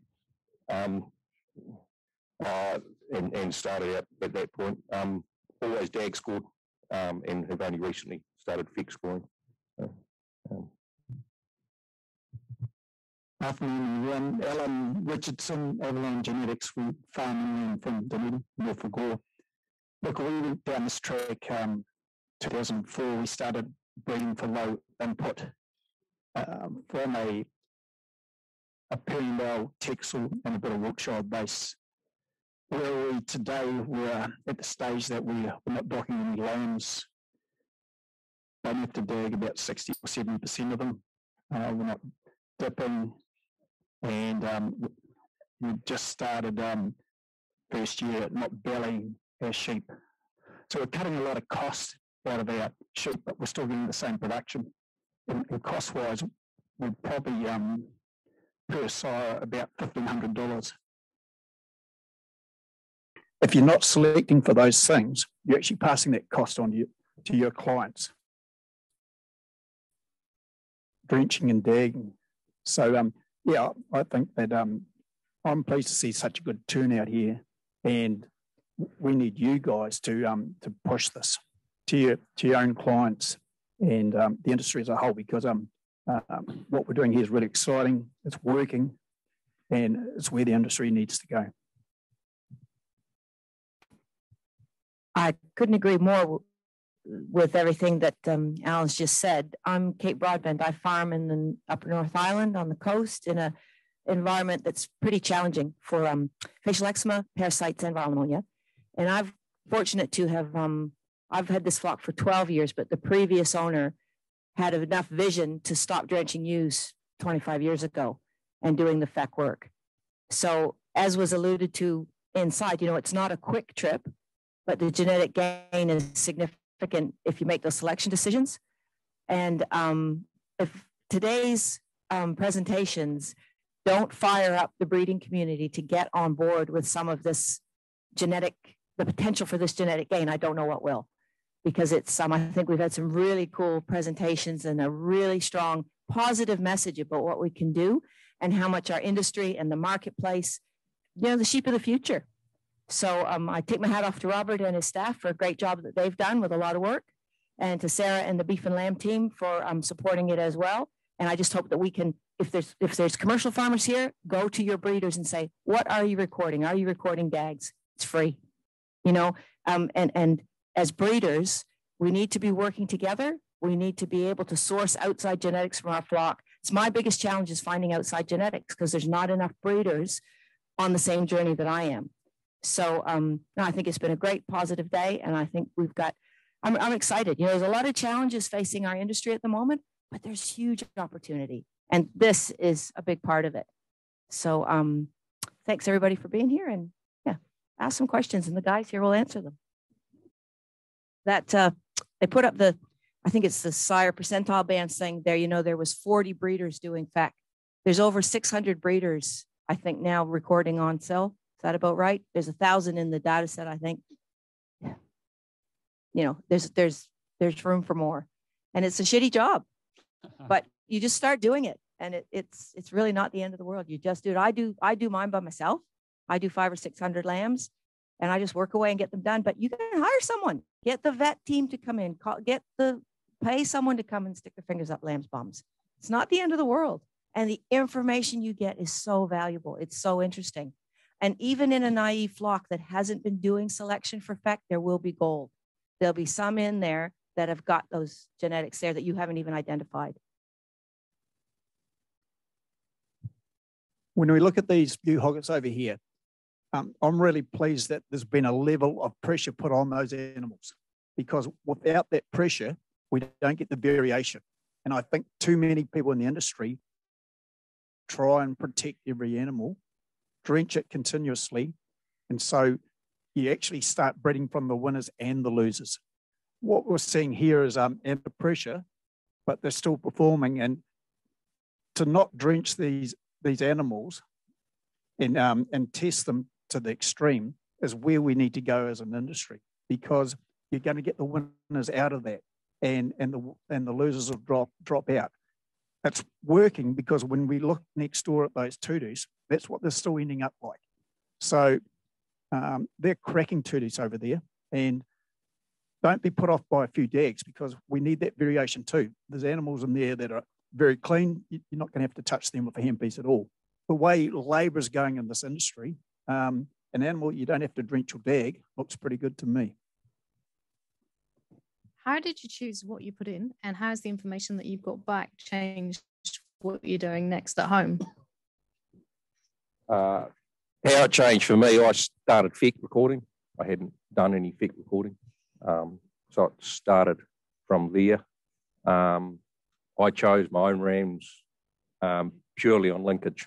So basically, I chose the ram that I'd use the most of so that I had sufficient numbers. With a small flock, um, I struggle with linkage with getting sufficient progeny on the ground from any given ram.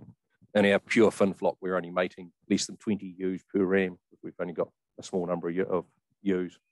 Um, although we're able to generate 35 to 40 progeny out of those 20 ewes, we've, we've got to manage it quite well. So, so that was my selection, the ram I put forward. I picked the ram. I've had rams in two years. In the first year, I picked a ram. It, it, it's just a sign of the times. He was a peeler, you know, peeled all down under his chin, nothing on his nuts, big open breech. You know, five years ago, you'd have called him as a as a young one because it was a terrible wool trait. And now, of course, you, that's what they want. They're screaming for them. Um, he wasn't the highest on into like maternal worth, that sort of thing. He's pretty good for a and he performed fine here. But then, then last year, I just picked good average because that's representative. You know, just pick, you know, good average ram that you're going to use yourself because you're looking for linkage. But the peeler, I haven't used him again. He really wasn't a, a top, top ram, but I know I can sell the sons. Um, and again, it's it's just about that linkage and represent. And and also when you do look at the results from these this trial, it's one ram from the flock, or you know, and some of us have been in a couple of years. It isn't necessarily representative but you're trying to be representative. So picking that good average gives you that, that opportunity. Just one comment. Most of our, our sheep in New Zealand are based on the Romney, the Coopworth, or the Perendale. So the crossbreed. So one of the challenges for, for those base breeders is how are we going to shorten the tail? Because if we're going to end up not having being able to tail, or perhaps we've got to administer pain relief for every lamb that we tail, which is about a dollar twenty or something like that. Um, UK already, the Netherlands have banned tail docking in sheep. So it is coming. And with those base breeds, how do we get that tail shorter? Because um, you wouldn't want to leave the tails on some of those sheep uh, because it's a hiding to nothing, isn't it? So that's something. Do we outcross and get a shorter tail on those sheep and go back? I, I don't know. That's why this, this trial is really important because it's going to identify some of those animals that have got those traits.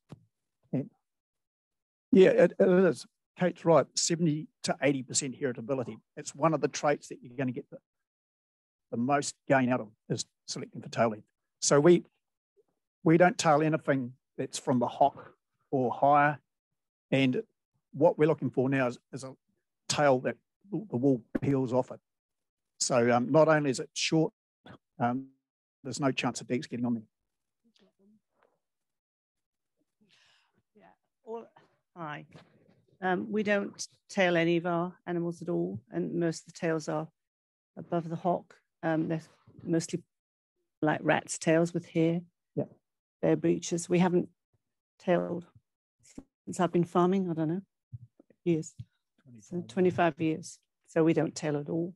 Ahead of the game. You're yeah, you're well ahead of the game. Mm. Bohepe.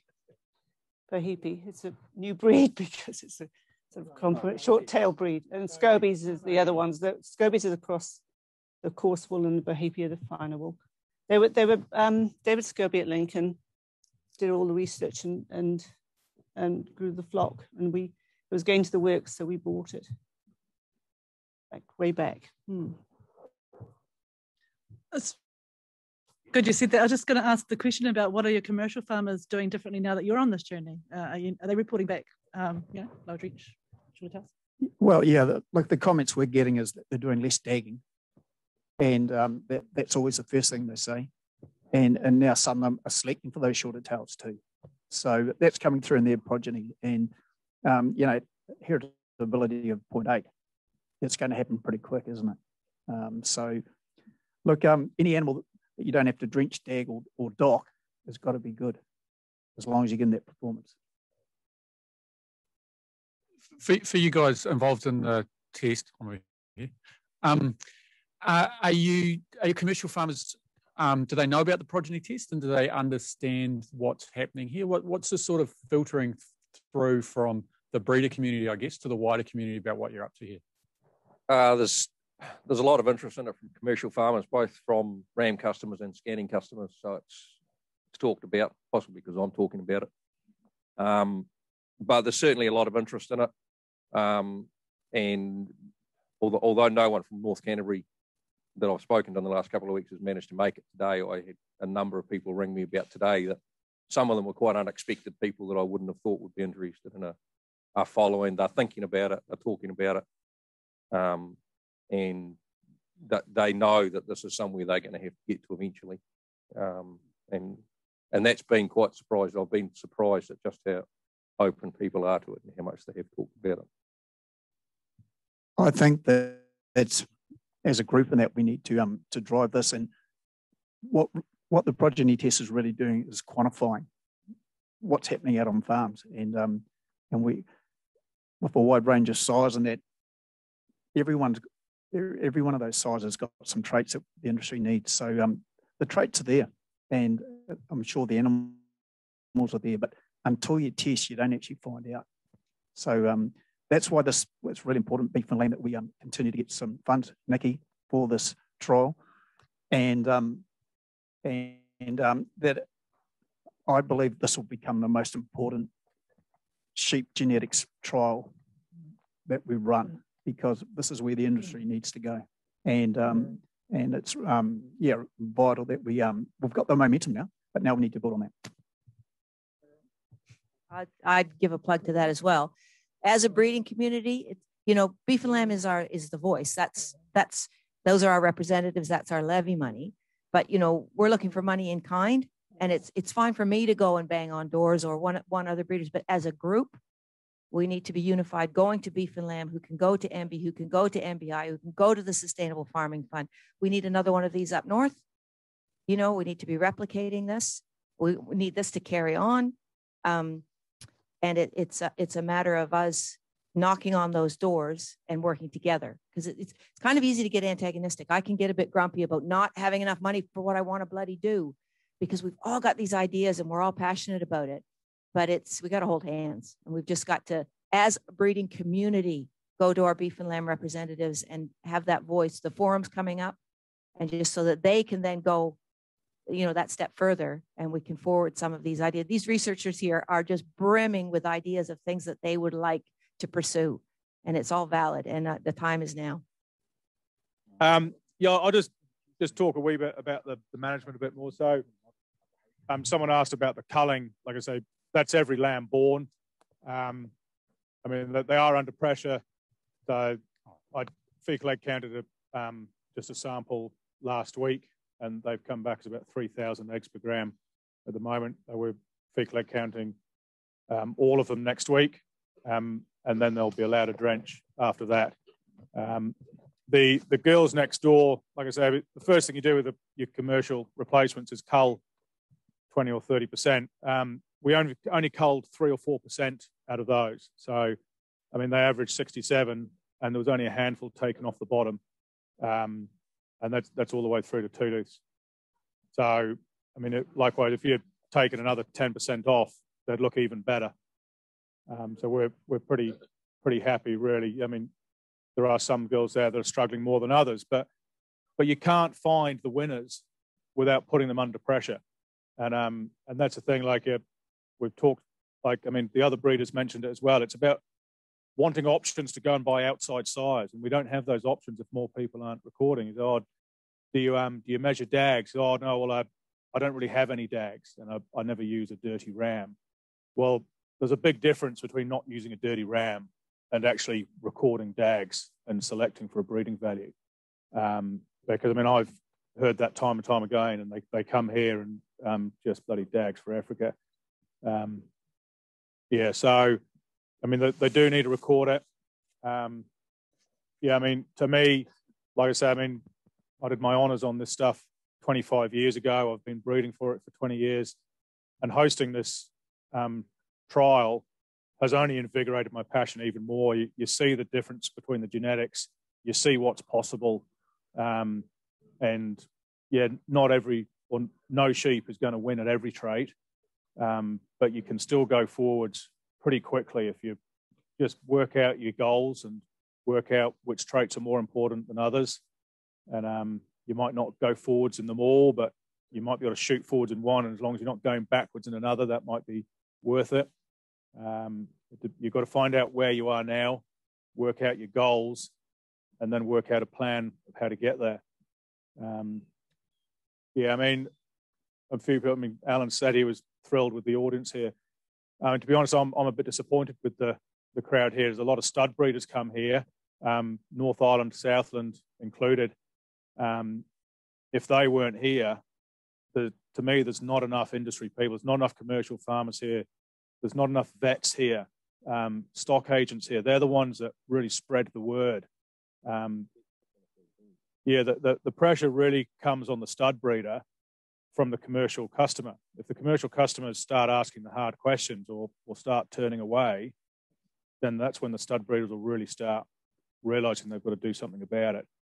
Um, yeah, I mean, th- this stuff like the drench resistance and the worm issues and the, the tailing, it's coming at us at a speed that we're not going to be able to cope with unless large numbers of stud breeders work together and, um, and record for the traits. If we do work together, well, God knows the, the industry could look fantastic in 10 years' time. Um, but if we're not careful, half, half the younger generation won't want to farm sheep. And, um, and then we'll get below a critical mass. It won't, breeders will give up because there's not enough rams to sell the processors will have trouble getting into certain markets because they won't have enough volume to sell. They'll sign a contract, say, right, oh, we want, want X number of tons, and oh, we don't have X number of tons. Um, so to me, we it's a serious call to arms, as it were, that um, the industry really needs to take seriously and get onto it as quickly as possible.